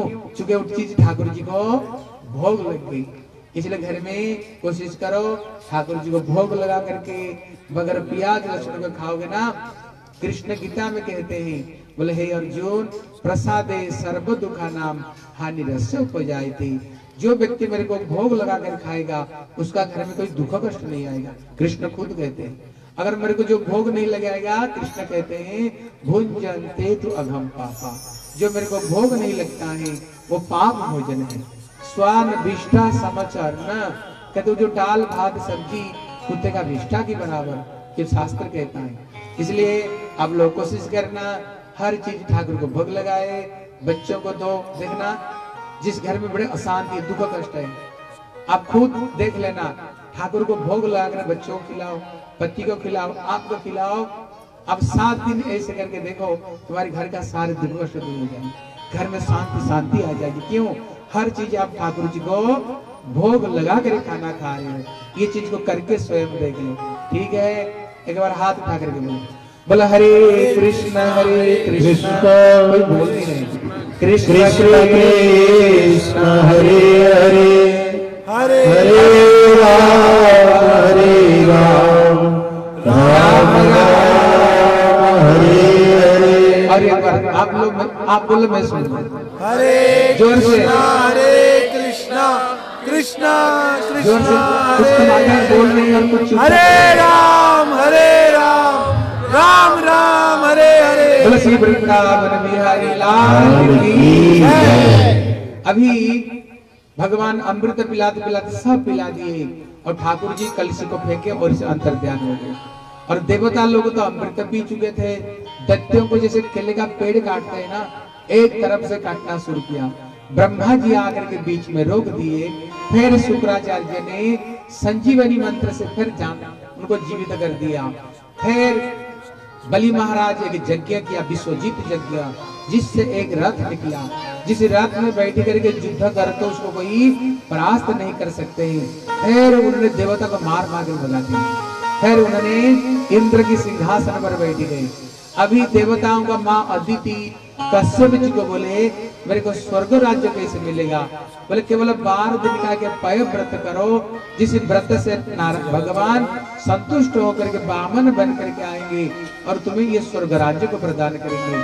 फिर भगवान श्री बामन देव प्रकट होते हैं। बोले, श्री बामन भगवान बामन को छत्र दे करके, कमंडल दे करके उधर से ले आएगा अब जब श्री बामन देव आए, श्री शुक्राचार्य जी उपनयन संस्कार की नियम है, उपनयन संस्कार के बाद में बच्चे को दक्षिणा देनी चाहिए। बोले, गुरुजी, दक्षिणा क्या चाहते हो? बोले, स्वर्ग राज्य, बलि महाराज से मांग करके लाओ। बोले, कहाँ से? बोले, नर्मदा नदी किनारे में चले जाओ। यज्ञों के बाद में जो जो चीज़ मांगते हैं, उनको सारी इच्छाओं को ये पूरी करते हैं। जब बामन गुरु वहाँ पर पहुँचे बलि महाराज उनका चरण धोए चरणामृत लिए बोले, आप, ऐसे आपको दान दूँगा। कहीं आपको झोली पसारने का ज़रूरत नहीं। भगवान बोले, एक काम करो, पहले आप संकल्प लो, फिर मैं मांगूँगा। जब उन्होंने संकल्प लेने के लिए गए, इसने शुक्राचार्य को बोल दिया, बोले, तू तो यहाँ सुहा सुहा में लगे हुए हो, तेरे चेले लुटे जा रहा है। इतने में शुक्राचार्य भागते भागते आए। बोले, बली सावधान। बोले, क्या बात है? बोले, जानते हो ये कौन है? बोले, ये कौन है? इसमें माला पहना करते बोले, ये कौन है? बोले, पहले जो मोहिनी बन करके आई थी ना, पहले जो मोहिनी बन करके आई थी, वही मोहिनी अभी ये मोहन बन करके आया है। देखो, ये तीन पग ज़मीन मांगेगा ये तीन पग में त्रिभुवन ले जाएगा। देखो, ऐसे दान को दान नहीं मानी जाती, जो सब कुछ लूट जाए। खबरदार ये भगवान स्वयं विष्णु। बलि महाराज तो खुश हो गए। बोले, मेरे दोनों हाथ में लड्डू ही लड्डू है। क्योंकि आप स्वयं बता रहे हो, ये भगवान है। ये तो दुनिया ठाकुर जी का। वो इच्छा करने पर सब कुछ ले सकते हैं। लेकिन ठाकुर जी मेरे घर में भिक्षा मांगने के लिए आए। मेरे जैसे बड़ा दानी कौन होगा, जो कि मेरे पास में दुनिया की मालिक दान दान लेने के लिए आएँगे। मेरे दोनों हाथ में लड्डू ही लड्डू है। एक तो भगवान है, फिर एक भिक्षा मांगने के लिए आए। बोले, इनको मैं ज़रूर दूँगा। बोले, मैं गुरुदेव हूँ। गुरुदेव का बात नहीं सुनोगे? बोले, नहीं। बोले, मेरी बात नहीं सुनोगे? बोले, नहीं। बोले, मैं अभिशाप देता हूँ। तो श्रीहीन हो जाओगे बोले, जो कुछ हो जाए, मैं तो ठाकुर को ज़रूर मैं दान दूँगा। हाँ देखो, ध्यान देकर सुनो। नियम है। जब एक बार हम गुरु जी ग्रहण करते हैं गुरु जी को त्याग नहीं देनी चाहिए। लेकिन ये बलि महाराज ने फिर त्याग कैसे देते तो शास्त्र में बताए, जो त्याग है ना, दो तीन स्थान पर हम त्याग दे सकते हैं। पहला नंबर में, अगर गुरुदेव वैष्णव नहीं हो। इसलिए ये पद्म पुराण कहता है, अवैष्णव उपदेष्ट न निरयम जो वैष्णव नहीं अगर उनसे अगर हम मंत्र ग्रहण करते हैं,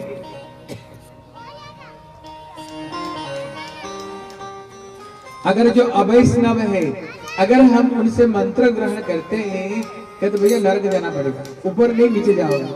क्यों? वो वैष्णव नहीं, चार वैष्णव संप्रदाय है, श्री, ब्रह्मा, रुद्र और सनक ये चार ही वैष्णव संप्रदाय। अगर मंत्र लेना तो ये चार वैष्णव संप्रदाय से कोई एक शुद्ध वैष्णव संप्रदाय को हमें चुननी चाहिए। पहला नंबर है। दूसरा नंबर है, अगर गुरु जी पतन हो गए गुरु जी फलदान हो गए असत संग से, तभी हम त्याग दे सकते हैं। तीसरा है, अगर ये वैष्णव जो धर्म, सदाचार को छोड़ करके अगर वो असदाचार हो जाते हैं हम वहाँ पर गुरु जी को बदला करके शुद्ध किसी वैष्णव से ये मंत्र को ग्रहण हम कर सकते उसमें कोई दोष नहीं लगेगा। इसलिए उन्होंने उनको त्याग दे दिया। इतने में जब संकल्प करने के लिए गए, फिर शुक्राचार्य जी कमंडल में कीड़े गए, फिर बैठ गए। उन्होंने कुश लेकर के सोचा कोई काई जम गया। उन्होंने कुश लेकर के साफ़ करने के लिए गए तो उनकी एक आँख ही चली गई। है? नियम है। कोई अगर अच्छे काम कोई कर रहे हैं, ठाकुर जी के काम कोई हो, कभी उसमें टांग मत अड़ाओ कभी उसमें टांग मत अड़ाया करो। अगर तुम्हारी हो सके तन मन धन से, जैसे हो सके मदद कर सकते हो, उसमें अगर टांग अड़ाओगे ना, तुम्हारी आँख चली जाएगी। फिर काना, ज़िंदगी भर काना बन के रहोगे। इसलिए शुक्राचार्य वहाँ से भाग गए, वहाँ शुक्राचार्य फिर उन्होंने संकल्प ग्रहण किए भगवान एक पग में भूर भूग मोह जन तप सत्य लोक तक चरण पहुँच गया। ब्रह्मांड कठाव को भेद करके प्रवेश कर गया तो वहीं पर पितामह ब्रह्मा जी प्रभु की चरण को अभिषेक करके जो पानी कमंडलों में रखे वही हो गई पतित पावन श्री गंगा। बोले श्री गंगा देवी की कोई जयकार नहीं दे रहे तुम सो रहे श्री गंगा देवी की अभी दूसरे पग में अतल बितल तलातल सुतल लोग को ले लिया। बोले बताओ बताओ तीसरे पग कहाँ रखो? उन्होंने गरुड़ को बुला करके नाग फांस बंधन में बाँध दिए। जब बाँध दिए देखो पत्नी कैसे होनी चाहिए यहाँ सिखा देती है। पत्नी मतलब क्या है? पति को कभी भी पतन होने मत दिया कर। पति को हर समय उठा करके रखो। पति को हर समय धर्म में उसको ऊँचा करके रखो। उसने कहा अपने भगवान को क्या दिया? दुनिया तो भगवान की। भगवान का अपना अपनी सब कुछ ले गए। दुनिया तो ठाकुर का है ना? जब तक तो खुद को खुद नहीं देते वो देना थोड़ी होता है। बोलो ना, अपना सर पर रखे। वाह इतने खुश हो गए। अभी वो सोच नहीं पा रहे अभी मैं क्या करूँ? अभी मैं क्या करूँ? बोले, अपना सर को नीचे कर दो। बोले, मेरे सर को चरण रखो। बलि महाराज बोले, बताओ, दान बड़ा ना दानी बड़ा? बोले, दानी। बोले, आप तो दानी लिया दानी अभी तो बाकी है। मेरे सर पर चरण रख रखो। ठाकुर जी, तीसरे चरण सर पर रखे।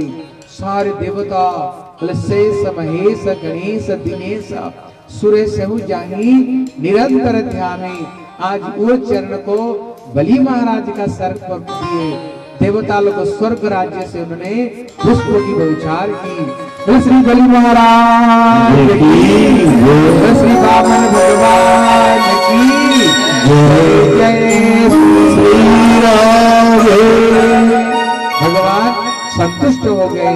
बोले तुम्हें हम सुतल लोक में तुम्हें राज्य प्रदान करते हैं। एक दिन तुम स्वर्ग का इंद्र बनने वाले। बोले, तू अभी मेरे से वर मांगो। बोले, प्रभु मेरे को इतना वर दो मैं जब अपना घर से निकलूं, आपका दर्शन करते हुए निकलूं, जब घर में आऊँ, आपका दर्शन करते हुए प्रवेश करूँ।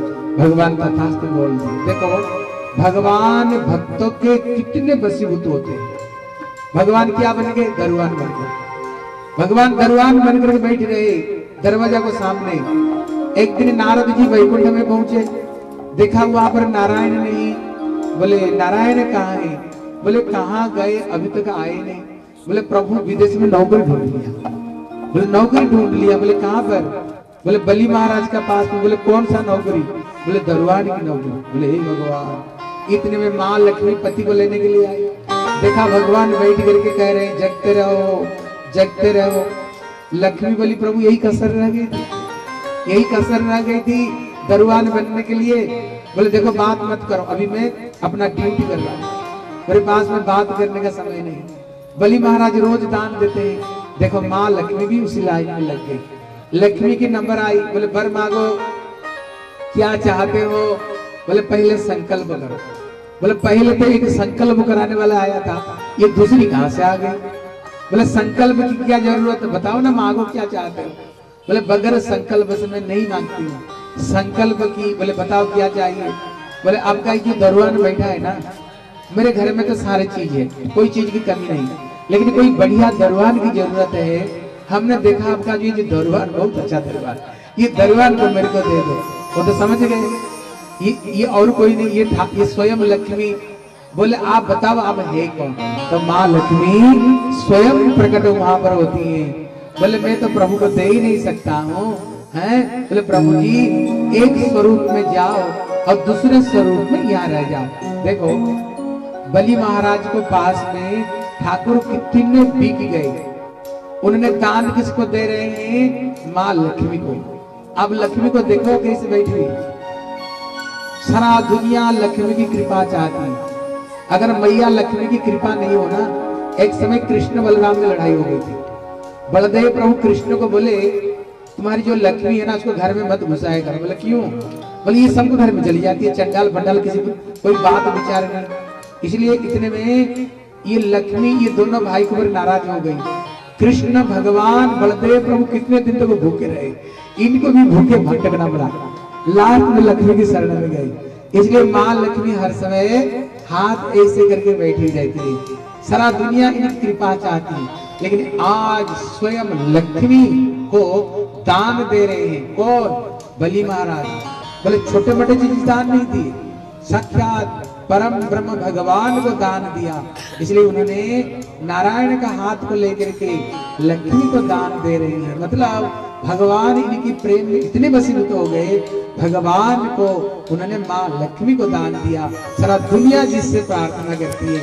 मतलब भगवान भक्तों का प्रेम में इतने वसीभूत हो जाते हैं। बोले श्री भक्त वत्सल भगवान जय जय श्री श्री राम भगवान कृष्ण तैयारी है कि नहीं नंद जसोद तैयारी है। ठीक है। देखो अभी भगवान आपके पास में भिक्षा लेने के लिए जाएँगे। इधर सुना नियम है भगवान को कुछ भिक्षा देनी चाहिए। जैसे सुदामा दो मिनट चिड़वा दिया ना ठाकुर जी त्रिभुवन का राज्य दे दिया। ठाकुर जी आज आपके पास में जाएँगे। आप ठाकुर को थोड़ी थोड़ी भिक्षा देना ये भजन दे भगवान की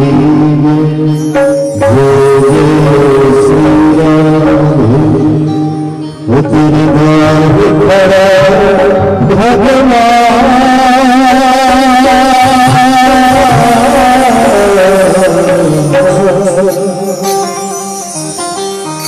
तेरी खड़ा भगत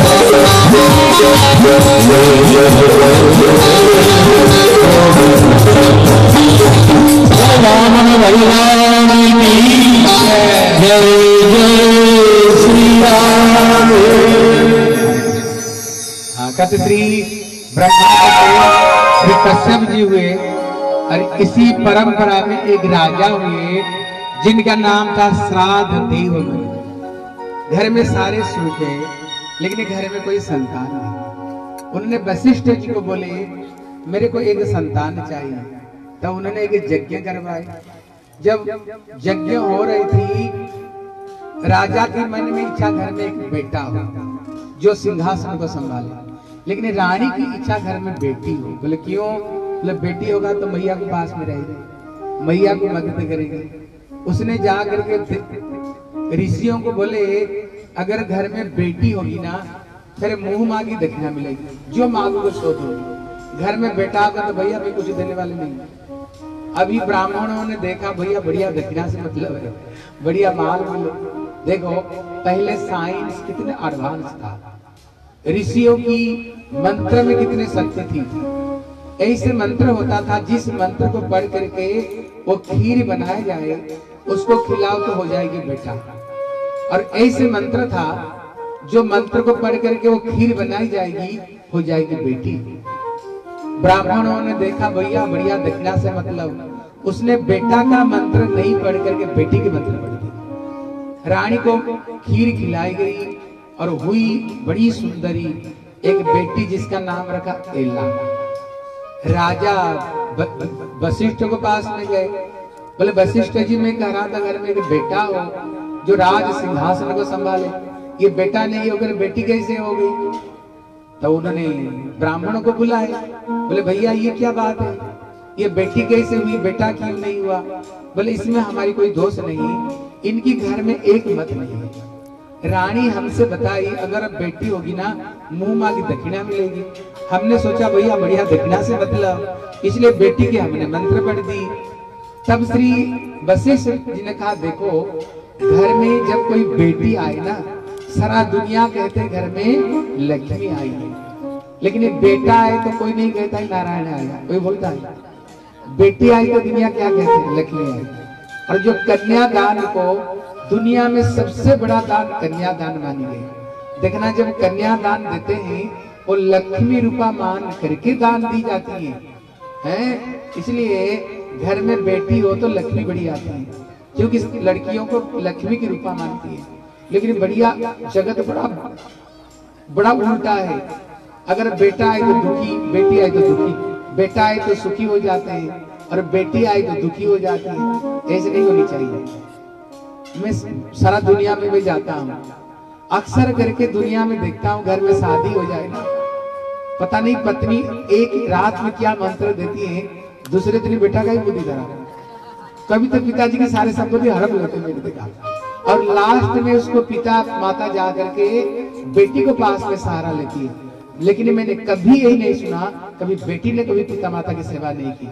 भले ही बेटी की शादी अगर कहीं चली जाए, वहीं से फ़ोन करती रहती है मेरे पिताजी कैसे हैं? मेरी माता जी कैसे हैं? हैं? अगर माता ही दुनिया में नहीं हो बोले, बेटा ही बेटा ही हो जाए। ये दुनिया रहेगा बताओ। दादा, चाची का जो कुछ जगत में पिता माता कहाँ से होती है? माता से। माताएँ हैं तभी तो दुनिया बढ़ रही है। अगर जगत में केवल भाई भाई हो जाए बेटा बेटा फिर दुनिया रहेगी ना, खत्म हो जाएगी। दुनिया खत्म हो जाएगी। इसलिए बेटे को हम जितने आदर देते हैं, बेटी को भी उतना आदर देनी चाहिए। इसलिए जो माताएँ हैं घर की लक्ष्मी माताओं को बताई गई। इसलिए वशिष्ठ जी ने कहा, देखो, घर में बेटी आए ना, सारा दुनिया कहते हैं घर में, लक्ष्मी आई, घर में, लक्ष्मी घर में आई। इसलिए चिंता क्यों कर तो लक्ष्मी आई। बोले, नहीं, हमें तो बेटा चाहिए, हमें बेटा चाहिए, नहीं तो राज सिंहासन को कौन संभालेगा? देखो, ये ऋषि मुनियों के पास में क्या मंत्र था? उसने ऐसे मंत्र पढ़ा, वशिष्ठ जी वो जो बेटी थी ना, बेटा को उन्होंने बेटी बेटी को उन्होंने बेटा बना दिया। जिसका नाम हो गया सुदुम्न नाम हो गया। जब धीरे धीरे बड़ा हुआ, एक दिन ये सुदुम्न अपना सैन्य सामंत लेकर के जंगल में भ्रमण करने के लिए गया था और प्रवेश करते ही जितने घोड़ा घोड़ी, जितने सैनिक सब लड़की और जो राजकुमार था ना, वो देखा राजकुमार, सब लड़की हो गई बोले, ऐसे कैसे हो गया? बोले, वो जंगल था श्री शंकर जी के शंकर जी वहाँ पर रहते थे। एक दिन चतुर्सन शंकर जी के दर्शन के लिए गए उसी समय शंकर पार्वती आपस में मिल रहे थे। इतने में चतुर्सन बचे मैया पार्वती तो इतने शर्मिंदा हो गई। बोले, शंकर जी को कोई घर गृहस्थ दिए जिसकी इच्छा हो, वही मुँह उठा करके आ जाते हैं यहाँ पर। इतने में शंकर जी अभिशाप दिए। आज से ये जंगल में कोई भी प्रवेश करेगा, सबके सब बेटा बेटी बन जाएगा। अभी इनको पता ही नहीं था सबके सब बेटी हो गए।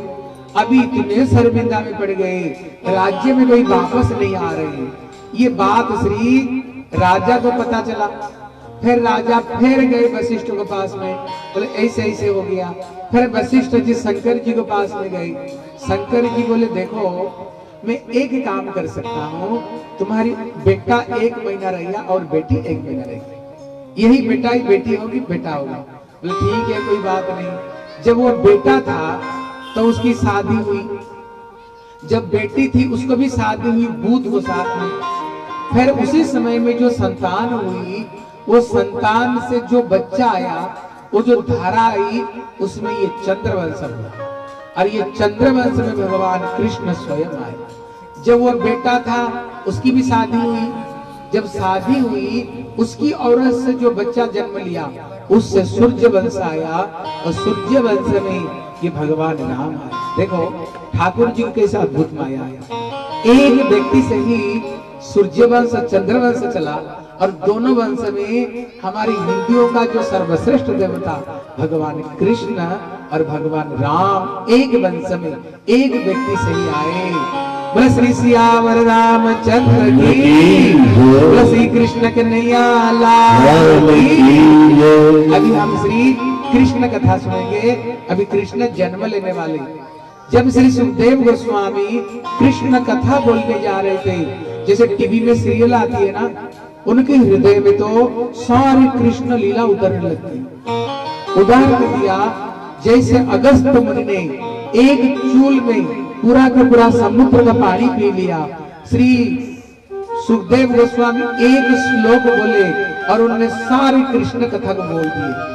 कृष्ण कैसे मथुरा में प्रकट हुए, गोकुल में कैसे गए और नंद के आनंद भयो जय कन्हैया। जय कन्हैया। कैसे वहाँ पर नंद महोत्सव हुई? कैसे पुतना को मारे, अघासुर बकासुर को मारे? कृष्ण कैसे कालिया के सर पर नृत्य की? सतकर्ण गोपियों को साथ में प्रभु, रास की कैसे? कृष्ण कैसे मथुरा में कंस की उद्धार की? कृष्ण कैसे द्वारका में गए? सोलह हज़ार एक सौ आठ पटरानियों से शादी की। हर पत्नियों से दस दस बेटे एक एक बेटी हुई। भगवान ऋषियों का अभिशाप को ग्रहण किए और प्रभास क्षेत्र में अपना अंतिम लीला को समाप्त करके ठाकुर जी अपना धाम में चले गए। इतना बोल करके बोले श्री कृष्ण कन्हैया जय। दे करके चुप हो गए। जब चुप हो गए परीक्षित महाराज बोले हो गया कृष्ण कथा? बोले पूरी बोल दी। खत्म हो गया ना? बोले, प्रभु, में चार दिन से केवल कृष्ण कथा सुनने के लिए बैठा हुआ हूँ। क्योंकि कृष्ण मेरे कुल देवता जब मैं माँ की पेट में था, अस्वस्थ मैंने जब ब्रह्मास्त्र को प्रयोग किया, कृष्ण ने ही गर्भ में प्रवेश करके मेरे को प्राण दिया केवल कृष्ण कथा सुनने के लिए यहाँ बैठा हुआ हूँ। आप तो एक श्लोक में पूरी कृष्ण कथा खत्म कर दिए प्रभु जी, मेरे को तृप्त नहीं मिला। मैं चाहता हूँ, केवल मेरे को कृष्ण कृष्ण ही कथा सुनाओ। तब उन्होंने ठीक है, अभी तुमको कृष्ण कथा सुनाएँगे। फिर तो उन्होंने तीन तीन दिन तक केवल कृष्ण कृष्ण कथा सुनाई। हाँ देखो, यहाँ प्रश्न आता है, सुखदेव गोस्वामी, ऐसे क्योंकि एक श्लोक में उन्होंने पूरी कृष्ण कथा क्यों बोल दिए? उदाहरण दिया जैसे जेठ के महीना हो, खूब चिलचिल्लाई हुई। खूब धूप है, गर्मी आप गर्मी से आ रहे हो। प्यास के मारे आपका छाती फट रही है। किसने एक गिलास जूस आपको दे दिया? आप क्या करोगे बताओ? एकदम एक साथ में ना, एक गिलास जूस को पूरा पूरा पी लोगे। उसी तरह श्री सुखदेव गोस्वामी कौन है? बोले, प्रिया सुख श्री वृषभानुजाया, पवित्र चलसो प्रिय चुंबनेन एकांत रहस्य पाठी निकुंज प्रासाद सदा निवासी कभी ये सुखदेव कोई साधारण तोता नहीं कभी ये राधा रानी की प्रिय तोता है जो राधा रानी की निकुंज में निवास करने वाली कभी कभी राधा रानी उसको अनार की दाना खिलाया करती थी बोलती थी सुख बोले तो कृष्ण कृष्ण वो सुख भी कृष्ण कृष्ण बोलता था कभी कभी राधा रानी ये सुख पखी को श्री कृष्ण स्वरूप मान करके राधा रानी कभी कभी चुम्बन करती थी। चुम्बन करने पर राधा रानी की जो अधरामृत, ये सुखदेव गोस्वामी के थोट में उनकी अधरामृत लगी हुई है। इसलिए जब श्री परीक्षित महाराज ने कथा सुनाए वहाँ पर तो अठासी हज़ार ऋषि लोग थे। लेकिन कोई सौ साल के, कोई दो सौ साल के, पाँच सौ साल के हज़ार साल के। लेकिन जब कथा सुने, किससे कथा सुने? श्री सुखदेव गोस्वामी से ही कथा सुने। बोले, क्यों? बोले, चुके श्रीमती राधा रानी को चुंबन की थी, राधा जी की अधरा में तो इनके थोट में लगी हुई। इसलिए उनकी जो कथा है ना, बड़ी प्यारी कथा है। और राधा शब्द को उल्टा दो। बोलो तो क्या होगा? और उधर क्या देख रहे हो? इधर देखो। राधा शब्द को उल्टा दो, क्या होगा? ज़ोर से बोलो। इसलिए कहती है राधा नहीं ये कृष्ण प्रेम रस की धारा श्री राधा रानी। इसलिए आप वृंदावन में जाओ ना इसलिए आप इसको कृष्ण कृष्ण बोलते हुए नहीं मिलेगा। क्या बोलते हो वहाँ पर? आप उधर मत देखो इधर देखो। बाद में तो कृष्ण को देखो हरे कृष्ण माता जी जसोदा आप पीछे चले जाओ। नहीं तो ये कथा कोई नहीं इसलिए बस ये वृंदावन बिहारी लाल इसलिए कहते, ये श्री राधा जी की ये प्रिय सुख है। ये प्रिय तोता श्री राधा रानी का है। इसलिए ये भी देख रहे थे, कब कृष्ण कथा आए और मैं जी भर करके कृष्ण कथा सुनाऊं। लेकिन जब कृष्ण कथा की समय आया ना, उन्होंने कृष्ण कथा बोलने की जो प्यास में बैठे हुए थे और जब कृष्ण कथा वर्णना करने की समय आई, एक श्लोक में पूरा के पूरा उन्होंने कृष्ण कथा को पान कर ली। लेकिन श्री परीक्षित महाराज बोले, नहीं, मेरे को विस्तृत रूप में ये कृष्ण कथा को सुनाया करो। फिर उन्होंने पूरी तीन दिन तक कृष्ण कथा सुनाई। इसलिए कहते जो कृष्ण कथा है, बोले, तीन लोगों को पवित्र करती है। तीन गंगा है। एक आकाश में गंगा, जिसका नाम मंदाकिनी। एक गंगा इसी मरते जगत में बहती जिसका नाम भागीरथी। एक पाताल में गंगा जिसका नाम भोगवती। जैसे ये तीन गंगा तीन लोगों को पवित्र करती है, ये कृष्ण कथा भी तीन लोगों को पवित्र करती है। बोले किसको किसको? बोले, जो सुनने वाले, जो बोलने वाले और जो प्रश्न करने वाले। ये तीन लोगों को कृष्ण कथा पवित्र करती है। और कृष्ण कथा में इतने रस है, जो आत्मा में रमण करने वाले सुखदेव गोस्वामी जैसे चतुसन जैसे ऐसे व्यक्तियों को भी कृष्ण कथा आकर्षण करती है। वो भी ब्रह्म ज्ञान और ब्रह्म ध्यान छोड़ करके बोले, कुर्बन अहित की भक्ति। ये लोग भी भगवान कृष्ण की भक्ति करते हैं। इसलिए श्री वल्लभाचार्य एक हुए कहते भगवान की जो कथा है ना, पूरा मिठाई मिठाई। है इसलिए उन्होंने एक मधुराष्टक लिखे हैं। बोले आधर मधुर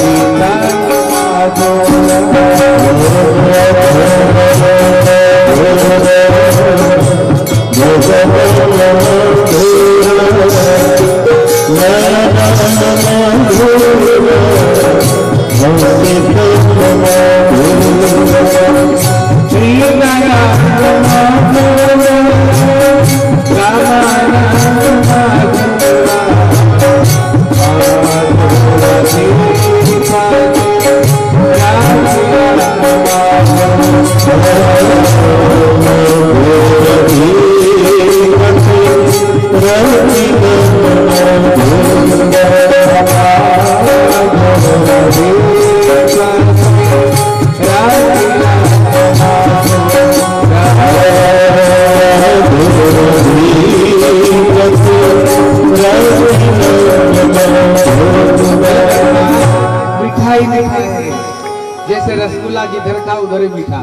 भगवान को उपनिषद कहता है रस बैस रसम जवायाम लब्धानंद भवती भगवान, पूर्ण रसी रस। है जिधर खाओ ना, भगवान उधर ही मिठाई मिठा है इसलिए अभी जिस समय कंस ने अपना पिता उग्रसेन को जेल में बंद करवा दिया। बोले, खबरदार, मेरे देश में कोई कृष्ण कृष्ण नहीं बोल सकते हैं। मेरे देश में कोई यज्ञ नहीं कर सकते हैं। मेरे देश में कोई ठाकुर का भजन कीर्तन नहीं कर सकते। जो कुछ करना मेरे नाम पर सब कुछ करना पड़ेगा। और जितने भक्ति करने वाले सबको ने जेल में बंद कर दिया। इतने में ये पृथ्वी बड़ी दुखी हो गई। इन्होंने ब्रह्मा जी को पास में गई। ब्रह्मा जी शंकर जी को पास में और शंकर जी सबके सब इंद्र को पास में, ये सबके सब खीर समुद्र को पास में जा करके भगवान को पुरुष सुक्त मंत्र से भगवान को उन्होंने स्तुति की, भगवान आकाशवाणी की, हे देवताओं, तुम लोग का दुख मैंने समझ गया है। चिंता मत करो, तुम लोग सबके सब जदुक वंश में जन्म लो। हे देविया, तुम लोग गोकुल में गोपी बन करके आओ, मैं जल्दी जल्दी आने वाला हूँ। इतने में श्री कंस अपना बहन देवक को शादी करवाए, वसुदेव को साथ में। स्वयं सारथी बनकर के विदाई दे रहा था। अभी आकाशवाणी हुई बोले, रे मुड़ कंस, जिस देवकी को तुम इतने आनंद पूर्वक विदाई दे रहे हो, देवकी की अष्टम गर्भ का संतान तेरे काल वसुदेव महाराज ने देखा ये देववाणी है, ये देववाणी कभी झूठी नहीं हो सकती है। किसी तरह से मेरे को ये देवकी को बचानी चाहिए। उसने साम, दाम, दंड, भेद नीति से उनने कोशिश की, उनको बचाने के लिए कोशिश की। हरे कृष्णा, देवकी वसुदेव, आप लोग पीछे चले जाओ। पीछे चले जाओ। जब मैं बोलूँगा ना, फिर आप दोनों आना, इधर से आना। हाँ आप लोग दोनों पीछे चले जाओ। बस ये वृंदावन बिहारी लाल। की जय। माताओं का मन बड़ा चंचल है। अगर कोई अगर कोई एक साड़ी पहन करके आ जाए ना सब देखते रहते भैया कैसी साड़ी पहन करके आई अगर पास में अगर कोई हमसे कोई बढ़िया साड़ी पहन करके आ गए बोले हमसे ये बढ़िया साड़ी पहन लिया कैसे। हरे कृष्ण। श्री वृंदावन बिहारी लाल। लाल की जय। इसलिए अभी वसुदेव महाराज ने साम, दाम दंड और भेद।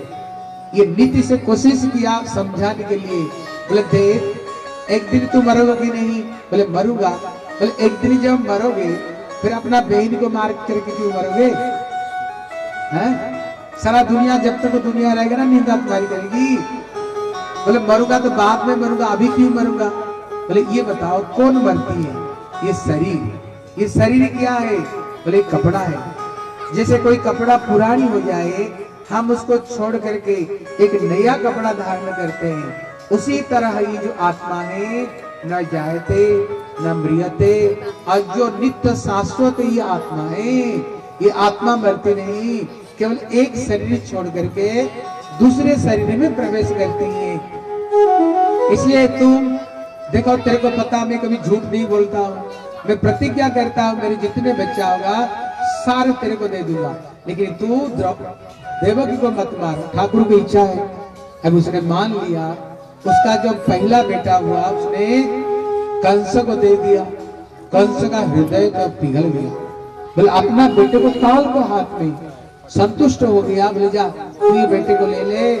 अष्टम बेटा से मेरा मतलब है नारद जी ने देखा, भैया, गड़बड़ी हो रही है। बोले, क्यों? बोले, भगवान कब आएँगे? जब पाप की घड़ा भर जाए लेकिन इसकी हृदय में तो दया की भाव उमड़ रहा है फिर ठाकुर जी आने में देर करेंगे इतने में श्री नारद जी बिना बजाते बजाते आ गए बोले गोविंद जय जय गोपाल जय जय गोविंद जय जय गोपाल जय जय गोविंद जय जय गोपाल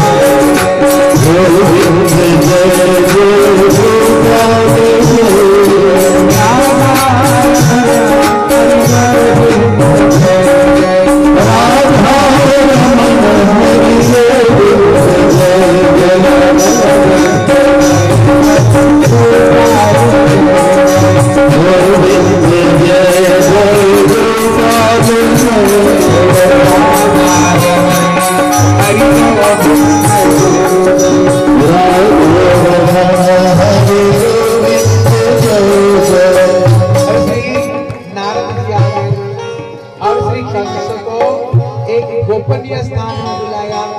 बोले कंस अभी अभी में स्वर्ग से आ रहा है। देखा, पितामह ब्रह्मा ने सारे देवता को लेकर के एक मीटिंग कर रहे थे। उसका विषय वस्तु था, तेरे को कैसे मारा जाए? सावधान, ये जितने जदुवंशी कोई नहीं, ये देवता है। जितने गोपियाँ सबके सब देवी, तेरे को मारने के लिए प्लान करके आए। एक कमल फूल लाए थे, जिसमें आठ पंखुड़ियाँ हो। बोले, कल से ये बताओ, ये आठ में पहला नंबर कौन और आठवां नंबर कौन? बोले गुरु जी कैसे बताएँ? इधर से गिनो, एक, दो, तीन, चार, पाँच, छह, सात, आठ। उल्टा गिनो, एक, दो, तीन, चार, पाँच, छह, सात, आठ। बोले, तेरे समझ में आ गया? बोले, गुरु, बताना क्या चाहते हो? बोले, बेटा, तुम तो सोच रहे हो, अष्टम गर्भ का संतान तेरा काल है। ये देवताओं का बात समझना बड़ा कठिन। तू तो इधर से एक दो कर रहे हो। अगर वो उल्टा से एक दो करे तो जिसको तू एक कर रहे हो, वो आठ हो जाए और जिसको आठ कर रहे हो हो जाएगा एक। जब ये बच्चे जन्म होंगे एक, दो, तीन, चार, आठ, बड़े होंगे कि नहीं? बोले हाँ। बोले, जब बड़े हो जाएँगे ना, तेरे को मिल करके सबको सब मारेंगे बोले, गुरु का बगैर तो ज्ञान होता ही नहीं। इसलिए सबको मैं मार दूँ।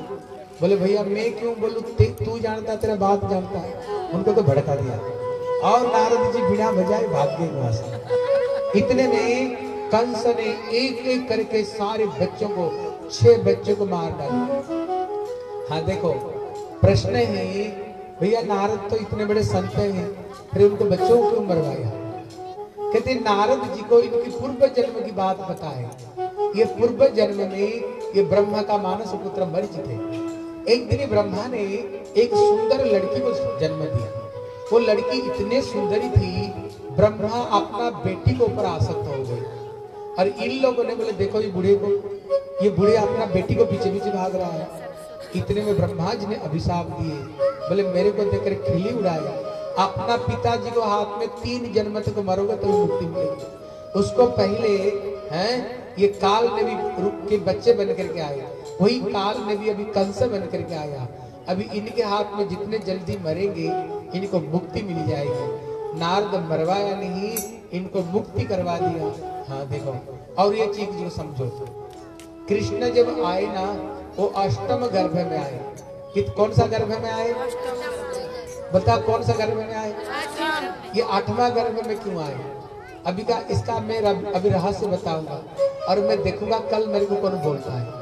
जो बोल देगा ना, उसको मैं इनाम दूँगा कृष्ण, ये आठवां गर्भ में क्यों आए? दो में क्यों नहीं आए? पाँच में क्यों नहीं आए? सात में क्यों नहीं आए? और आए तो ये आठवां गर्भ में क्यों आए? ठीक है? इसको ध्यान देकर सुना। इसमें क्या रहस्य है? जैसे class one two three four five six seven होता है, ये भक्ति की भी आठ स्टेजेस हैं। भक्ति भी के आठ सोपान है, सीढ़ियाँ है। और अष्टम स्टेज में ये कृष्ण दर्शन है। भक्ति का जो पहला स्टेज क्या है, श्रद्धा। जैसे आपको अंदर में श्रद्धा है, तभी आप यहाँ आकर बैठे हुए अगर श्रद्धा नहीं होता है ना फिर आप यहाँ पर कोई भी नहीं आता। इसलिए भक्ति का जो पहला क्लास श्रद्धा। श्रद्धा है, बैठे, फिर दूसरे में साधु संग जब आए, बैठे फिर संतों से कथा सुनो, फिर भगवान की कथा सुनो, है? इसलिए ये दूसरा स्टेज है। बोले, तीसरा स्टेज क्या है? जब हम संतों से कथा सुनेंगे, फिर ज्ञान होगा। कहते ना, बिनु सतसंग विवेक ना हो राम कृपा बिनो सुलभ ना सोई। जब तक संतों की कृपा नहीं हो, तब तक ज्ञान नहीं होगा। और जब तक राम की कृपा नहीं होगा, सत्संग नहीं मिलेगी। इसलिए सत्संग से फिर पता चलता है, हम कौन हैं? कहाँ से आए? जाना कहाँ? है? फिर ये जीवन कितना दुर्लभ है। ये जीवन पा करके हमें प्रभु की भक्ति करनी चाहिए। ये सत्संग से ही पता चलता है। ये तीसरा स्टेज है। बोले, चौथा स्टेज क्या है? बोले, भजन क्रिया। बोले, भजन क्रिया मतलब जब हमें पता चलता है, ये मानव शरीर बारंबार ठाकुर नहीं देते हैं। ये चौरासी लख जन्म के बाद में मिला। और ये मानव शरीर नहीं, ये मुक्ति का द्वार है, हैं? मतलब इसी मानव शरीर में प्रभु की भक्ति करके हम भगवान तक पहुँच सकते हैं। जहाँ जाने पर जगत में दोबारा हमें आना नहीं पड़ेगा। इसलिए जो चौथा है भजन क्रिया। फिर प्रभु की भक्ति करना शुरू करेंगे। उसको बाद में बोले रुचि। बोले रुचि मतलब क्या?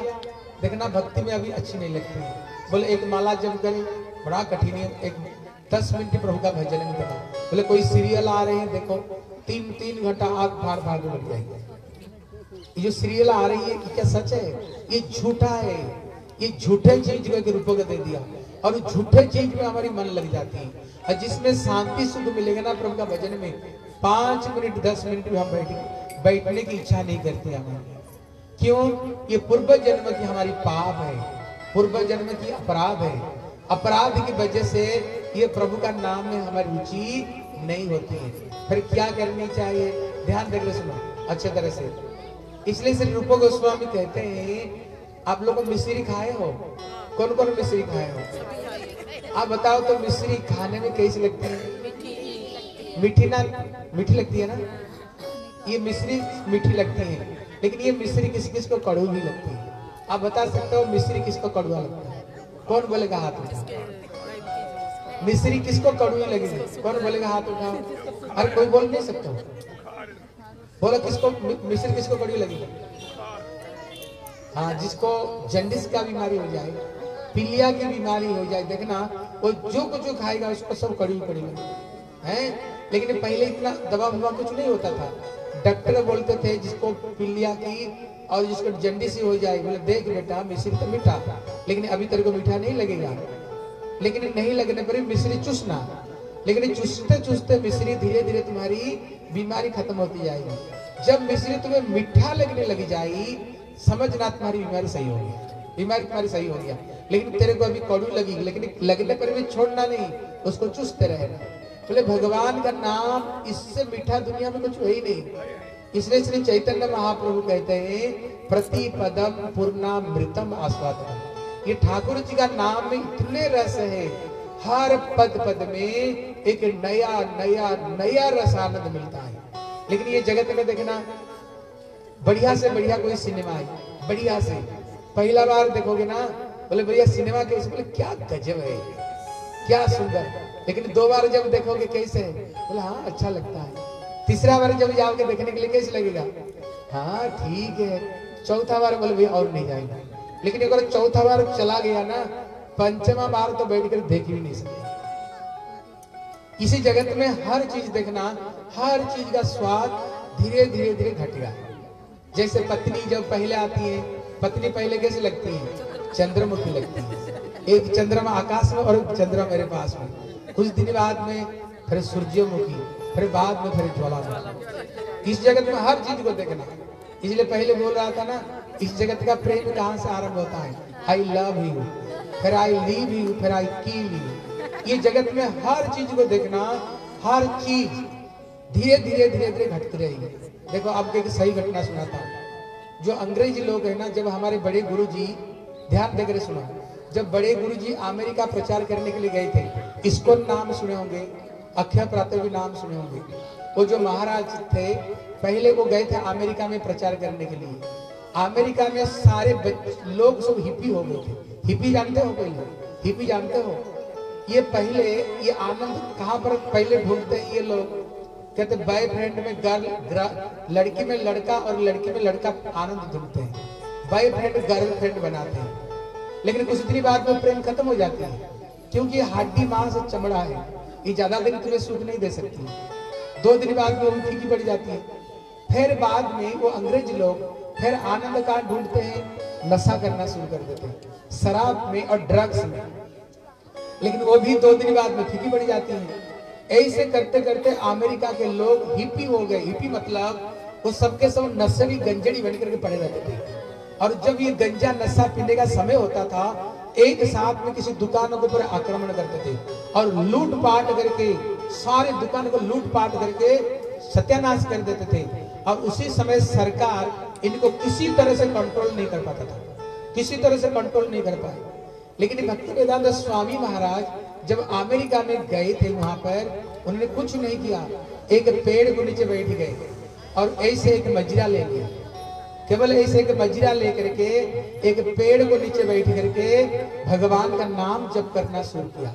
और वो जितने सब शराब पी रहे थे ना, सब जितने जितने शराब पी रहे थे, क्योंकि भगवान का नाम में बड़ा मीठा है। भगवान का नाम में बड़ा आनंद है।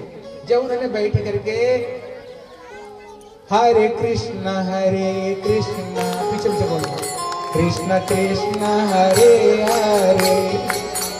हरे राम हरे राम। राम राम, हरे हरे। हरे कृष्ण हरे कृष्ण। कृष्ण कृष्ण, हरे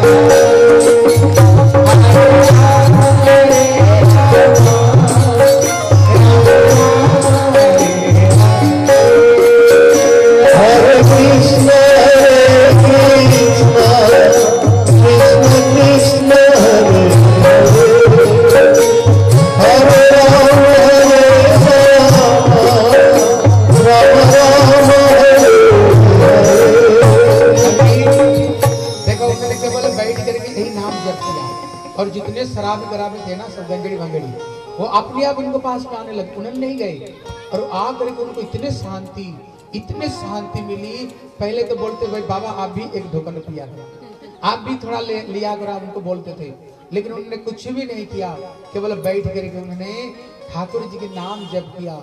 और प्रभु का नाम जप करते करते करते करते ये जितने न- नशेड़ी गंगड़ी भंगड़ी थे, अपने आप उन्होंने सारे चीज़ को त्याग दिया और सारा चीज़ को त्याग दे करके सब के सब भक्त बन गए। अब वृंदावन गए हो? अब देखे होंगे जो अंग्रेज़ लोग कैसे चोटी रख करके तिलक लगा कर गले में कंठी पहन करके और प्रभु का नाम कैसे जप करते हैं। हम तो गले में कंठी पहनने के लिए शर्म लगती है। लेकिन उनके गले में देखना इतने इतने मोटी मोटी गले में तुलसी की माला पहने हुए। और हम तो तिलक लगाए तो बोले, भैया, तिलक कैसे लगा ले? उनको देखना कैसे तिलक लगाए, हैं? कैसे चोटी कैसे प्रभु का नाम जप करते हैं। हम तो हिंदू है। कोई गीता का कोई श्लोक पूछो? कुछ भी नहीं आएगा। लेकिन कौन सा हीरो का नाम पूछो? सब याद है। कौन सा प्लेयर का नाम सब याद है। सारी गंदी चीज़ को याद करके बैठे हुए लेकिन अच्छी चीज़ का हमें कोई याद नहीं। आप वहाँ देखोगे जा करके आप आश्चर्य हो जाओगे, वो अंग्रेज़ लोग कैसे भक्ति करते हैं। ऐसे इसलिए बोले, जो पंचमा स्टेज रुचि। रुचि मतलब होता है, अभी तो प्रभु के नाम अच्छी नहीं लगती है। लेकिन जब धीरे धीरे करने लग जाओगे, फिर तो सोचोगे, भैया, कब टाइम मिले? कब हम ठाकुर का नाम जप करें? ठाकुर जी के नाम में इतने आनंद है। फिर छठवा स्टेज में निष्ठा निष्ठा मतलब ऐसे स्थिति आती है, भले ही सारा दुनिया कुछ बोले, लेकिन प्रभु का भजन नहीं छोड़ता है। जैसे मीरा, इसको ऊपर में कितने जीवन में विपत्ति आई, लेकिन उसने प्रभु का भजन उसने नहीं छोड़ा। प्रभु की भक्ति उसने नहीं छोड़ी। उसको बाद में निष्ठा, आसक्ति आसक्ति मतलब भगवान में इतने आसक्ति हो जाती है, सारा दुनिया की आसक्ति खत्म हो जाती है। फिर भाव भाव मतलब है, फिर कृष्ण की बंसुरी की आवाज़ सुनने को मिलेगी। ठाकुर जी की चरण की नुपुर की झंकार सुनने को मिलेगी। कभी लगेगा ठाकुर हमें स्पर्श कर रहे हैं। कभी ऐसे लगेगा ठाकुर आकर के हमें अधरा मृत पिला कर गए। ये भाव और अष्टम स्टेज है प्रेम। प्रेम मतलब है जहाँ पर साक्षात कृष्ण दर्शन है। जहाँ पर साक्षात भगवान का दर्शन प्राप्त होता है। इसलिए कृष्ण कौन सा स्टेज में आए, कौन सा गर्भ में? अष्टम। अष्टम स्टेज मतलब जहाँ साक्षात कृष्ण दर्शन हो जाए। और कंस ने छह बेटे को मारे। ये छह बेटे कौन है? काम क्रोध लोभ मोह मद और मात्सर्य हैं? उनको मारे। फिर सप्तम स्टेज में बलदेव प्रभु ये साक्षात धाम स्वरूप गुरु स्वरूप में आए। फिर कृष्ण अष्टम गर्भ में आते हैं। बोले श्री कृष्ण कन्हैया इसलिए जिस समय भगवान कृष्ण आएँगे पहले उन्होंने वसुदेव के गर्भ में आए। हृदय में आए। फिर इनके हृदय में से श्री देवकी के हृदय में प्रवेश किए। कंस देख करके समझ गए, भैया, मेरे काल आने वाले हैं। अभी उसको नींद नहीं आता है। वही काले काले दुनिया दिखता है। उठते, बैठते वही काले दिखता है। अभी कृष्ण आने वाले, तैतीस करोड़ देवता आकर के भगवान को गर्भस्तुति कर रहे हैं। सारे देवता प्रभु को स्वागत कर रहे हैं। हम भी थोड़ा स्वागत करते हैं। ठीक है? मेरे पीछे पीछे ताली बजाते हुए बोलना बोले सुस्वागतम कृष्ण सुस्वागतम कृष्ण सुस्वागतम कृष्ण सुस्वागतम कृष्ण स्वागतम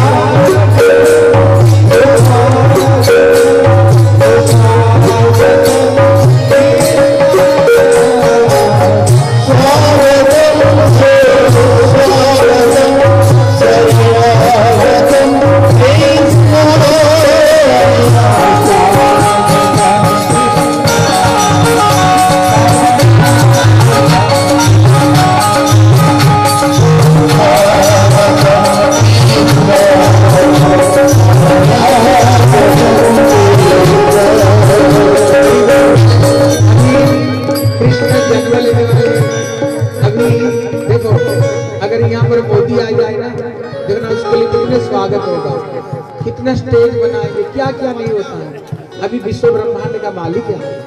इसके लिए कितने स्वागत नहीं होनी चाहिए। इसलिए ये वृंदावन धाम तो इतने प्रसन्न हो गई। ये एकदम दुल्हन जैसे पति आने पर पत्नी, बड़ी सुंदर सज जाती है। ये वृंदावन सुंदर रूप में सज गई। बोले, क्यों? बोले, मेरे प्रियतम, मेरे प्रभु जी आ रहे हैं। सारे वृक्ष में फल, फूल से लग गई।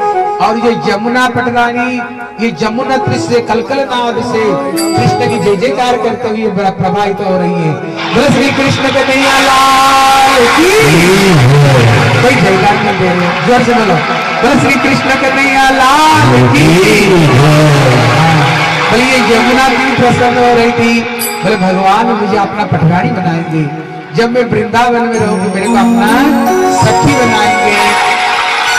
और जो दूसरे दूसरे नदियाँ थी, वो भी प्रसन्न हो रही थी। बोले, वो क्यों प्रसन्न हो रही थी? बोले, सबसे बड़ी बहन श्री यमुना। और इनकी जितने नदियाँ, छोटी नदियाँ, इनकी छोटी बहन। जब बड़ी बहन से शादी होएगी, ये छोटी बहन क्या लगेगी? बताओ। बोला, ये साली लग जाता है। आप देखना, दामाद कभी कभी पत्नी से ना साली को ज़्यादा प्रेम करते हैं। इसलिए दूसरे नदी इसलिए खुश हो रही थी हम जब साली बनेंगे कृष्णा में प्रेम करेंगे। कमल फूल खिलती है दिन में लेकिन ये कमल फूल खिल गया रात में। बोले, क्यों? बोले, ऋषि लोग, संत लोग जब उदाहरण देंगे, बोले, नमो पंकज नाराय नमो पंकज मालिनी। बोले, उनका नेत्र कमल, नाभि कमल, चरण कमल, हस्त कमल, सब कमल कमल को साथ में उदाहरण देंगे। और चंद्रमा कृष्ण अष्टमी की रात में आई। अष्टमी का चंद्रमा आधा होती है, लेकिन आज चंद्रमा पूर्ण रूप में प्रकट हो गई बोले, क्यों? आज प्रभु मेरे वंश में मेरे प्रभु आ रहे हैं। सारा दुनिया जय जयकार कर रहा था, है? उसी समय में भगवान कृष्ण में चतुर्भुज लेकर के प्रभु प्रकट हुए श्री कृष्ण के इतने में देवकी वसुदेव बोले बोले प्रभु, आपको तो हमने संतान रूप में प्रार्थना की थी। आप तो 16 साल के और घुंगड़ारी घुंगड़ारी केस चमकले चमकले वस्त्र पहन करके आए हो। प्रभु जी ज़्यादा बात करने पर कंस मामा जी अगर जग जाएँगे ना, फिर तो सत्यानाश हो जाएगा। बोले, चिंता क्यों कर रहे हो? इसलिए तो मैं चंद्रभुज रूप रूप लेकर आया हूँ। शंकर चक्र गदा पद्म लेकर के। अगर कंस मामा उल्टा पुल्टा बोले ना, छोड़ूँगा नहीं अभी। पहले तो छोड़ दिया, अभी छोड़ूँगा नहीं। किंतु पहले मैं सदभज करके आया हूँ। बोले, प्रभु जी, आप ये सोलह साल से क्यों आए? बोले, देखो, पूर्व जन्म में तुम कृष्ण सुतमा थे राजा रानी सारे राजभोग को त्याग करके गए केवल पत्ते जो गिरी जाती थी, सूखे पत्ते को खा करके दस हज़ार साल तपस्या की। मैंने कहा, बर्मा को, तुम दोनों ने कहा, आप जैसे के बेटा चाहिए। बोले, मेरे जैसे तो कोई होता ही नहीं। मेरे जैसे मैं हूँ, इसलिए तुमको याद दिलाने के लिए आया हूँ। देखो, अभी छोटा बच्चा बन जाऊँगा। और मेरे को लेकर के गोकुल में रख लेना, वहाँ से बेटी को ले आना। बोले, प्रभु हथकड़ी बड़ी बड़ी हुई। पहरादार जगे हुए हैं। बड़े बड़े ताला लगा हुआ दरवाज़ा में। कैसे जाऊँ? बोले, चिंता मत करो। मेरे को अपना सर पर रख लो। अपनी आप सारे बंधन खत्म हो जाएगी। जब उनने सर पर रखे ना, सारे ताला खुल गया बेड़ी हथकड़ी खुल गई। पहरादार से गए। देखो, यहाँ शिक्षा देते हैं, अगर हम घर में कोई काम हो, देखो, ध्यान देकर सुनो। इतनी सी शिक्षा लेकर के जाओ। घर में कोई तुम्हारी बच्चे का बर्थडे बना रहे हो, घर में शादी हो रही है, भगवान को छोड़कर कोई काम मत करो। फिर तो सर्वनाश हो जाएगा। भगवान को लेकर करो। ठाकुर जी को आगे रख करके करो। जैसे बच्चे का बर्थडे पहले जो खाना बनाए पहले गोपाल जी को खाना खिलाओ। अपना शादी हो रही है, ऐसे नहीं सारा दुनिया को दिला कर खिला रहे हो उल्टा पुल्टा खिला रहे हो, और जिसने दिया चुपचाप बैठा हुआ। दिन में खूब तीन बार ड्रेस बदला रहे हो ठाकुर जी पंद्रह दिन से कपड़ा पहन कर बैठे फिर क्या होगा बताओ? इस ऐसे नहीं।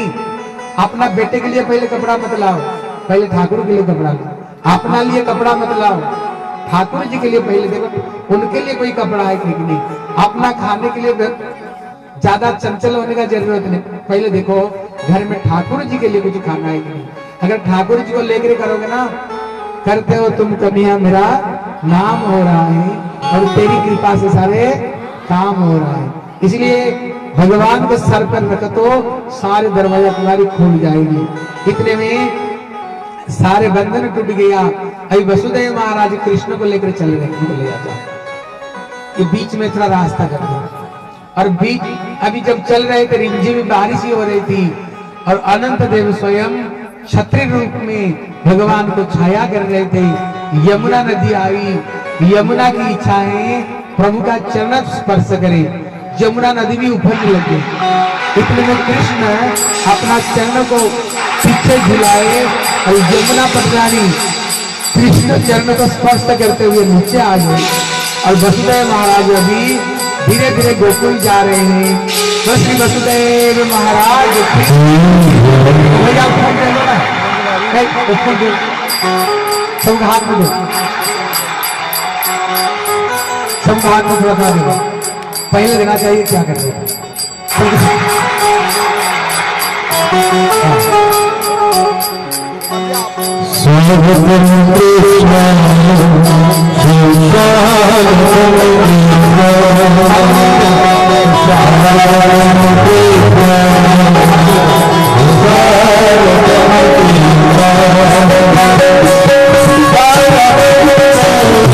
हो?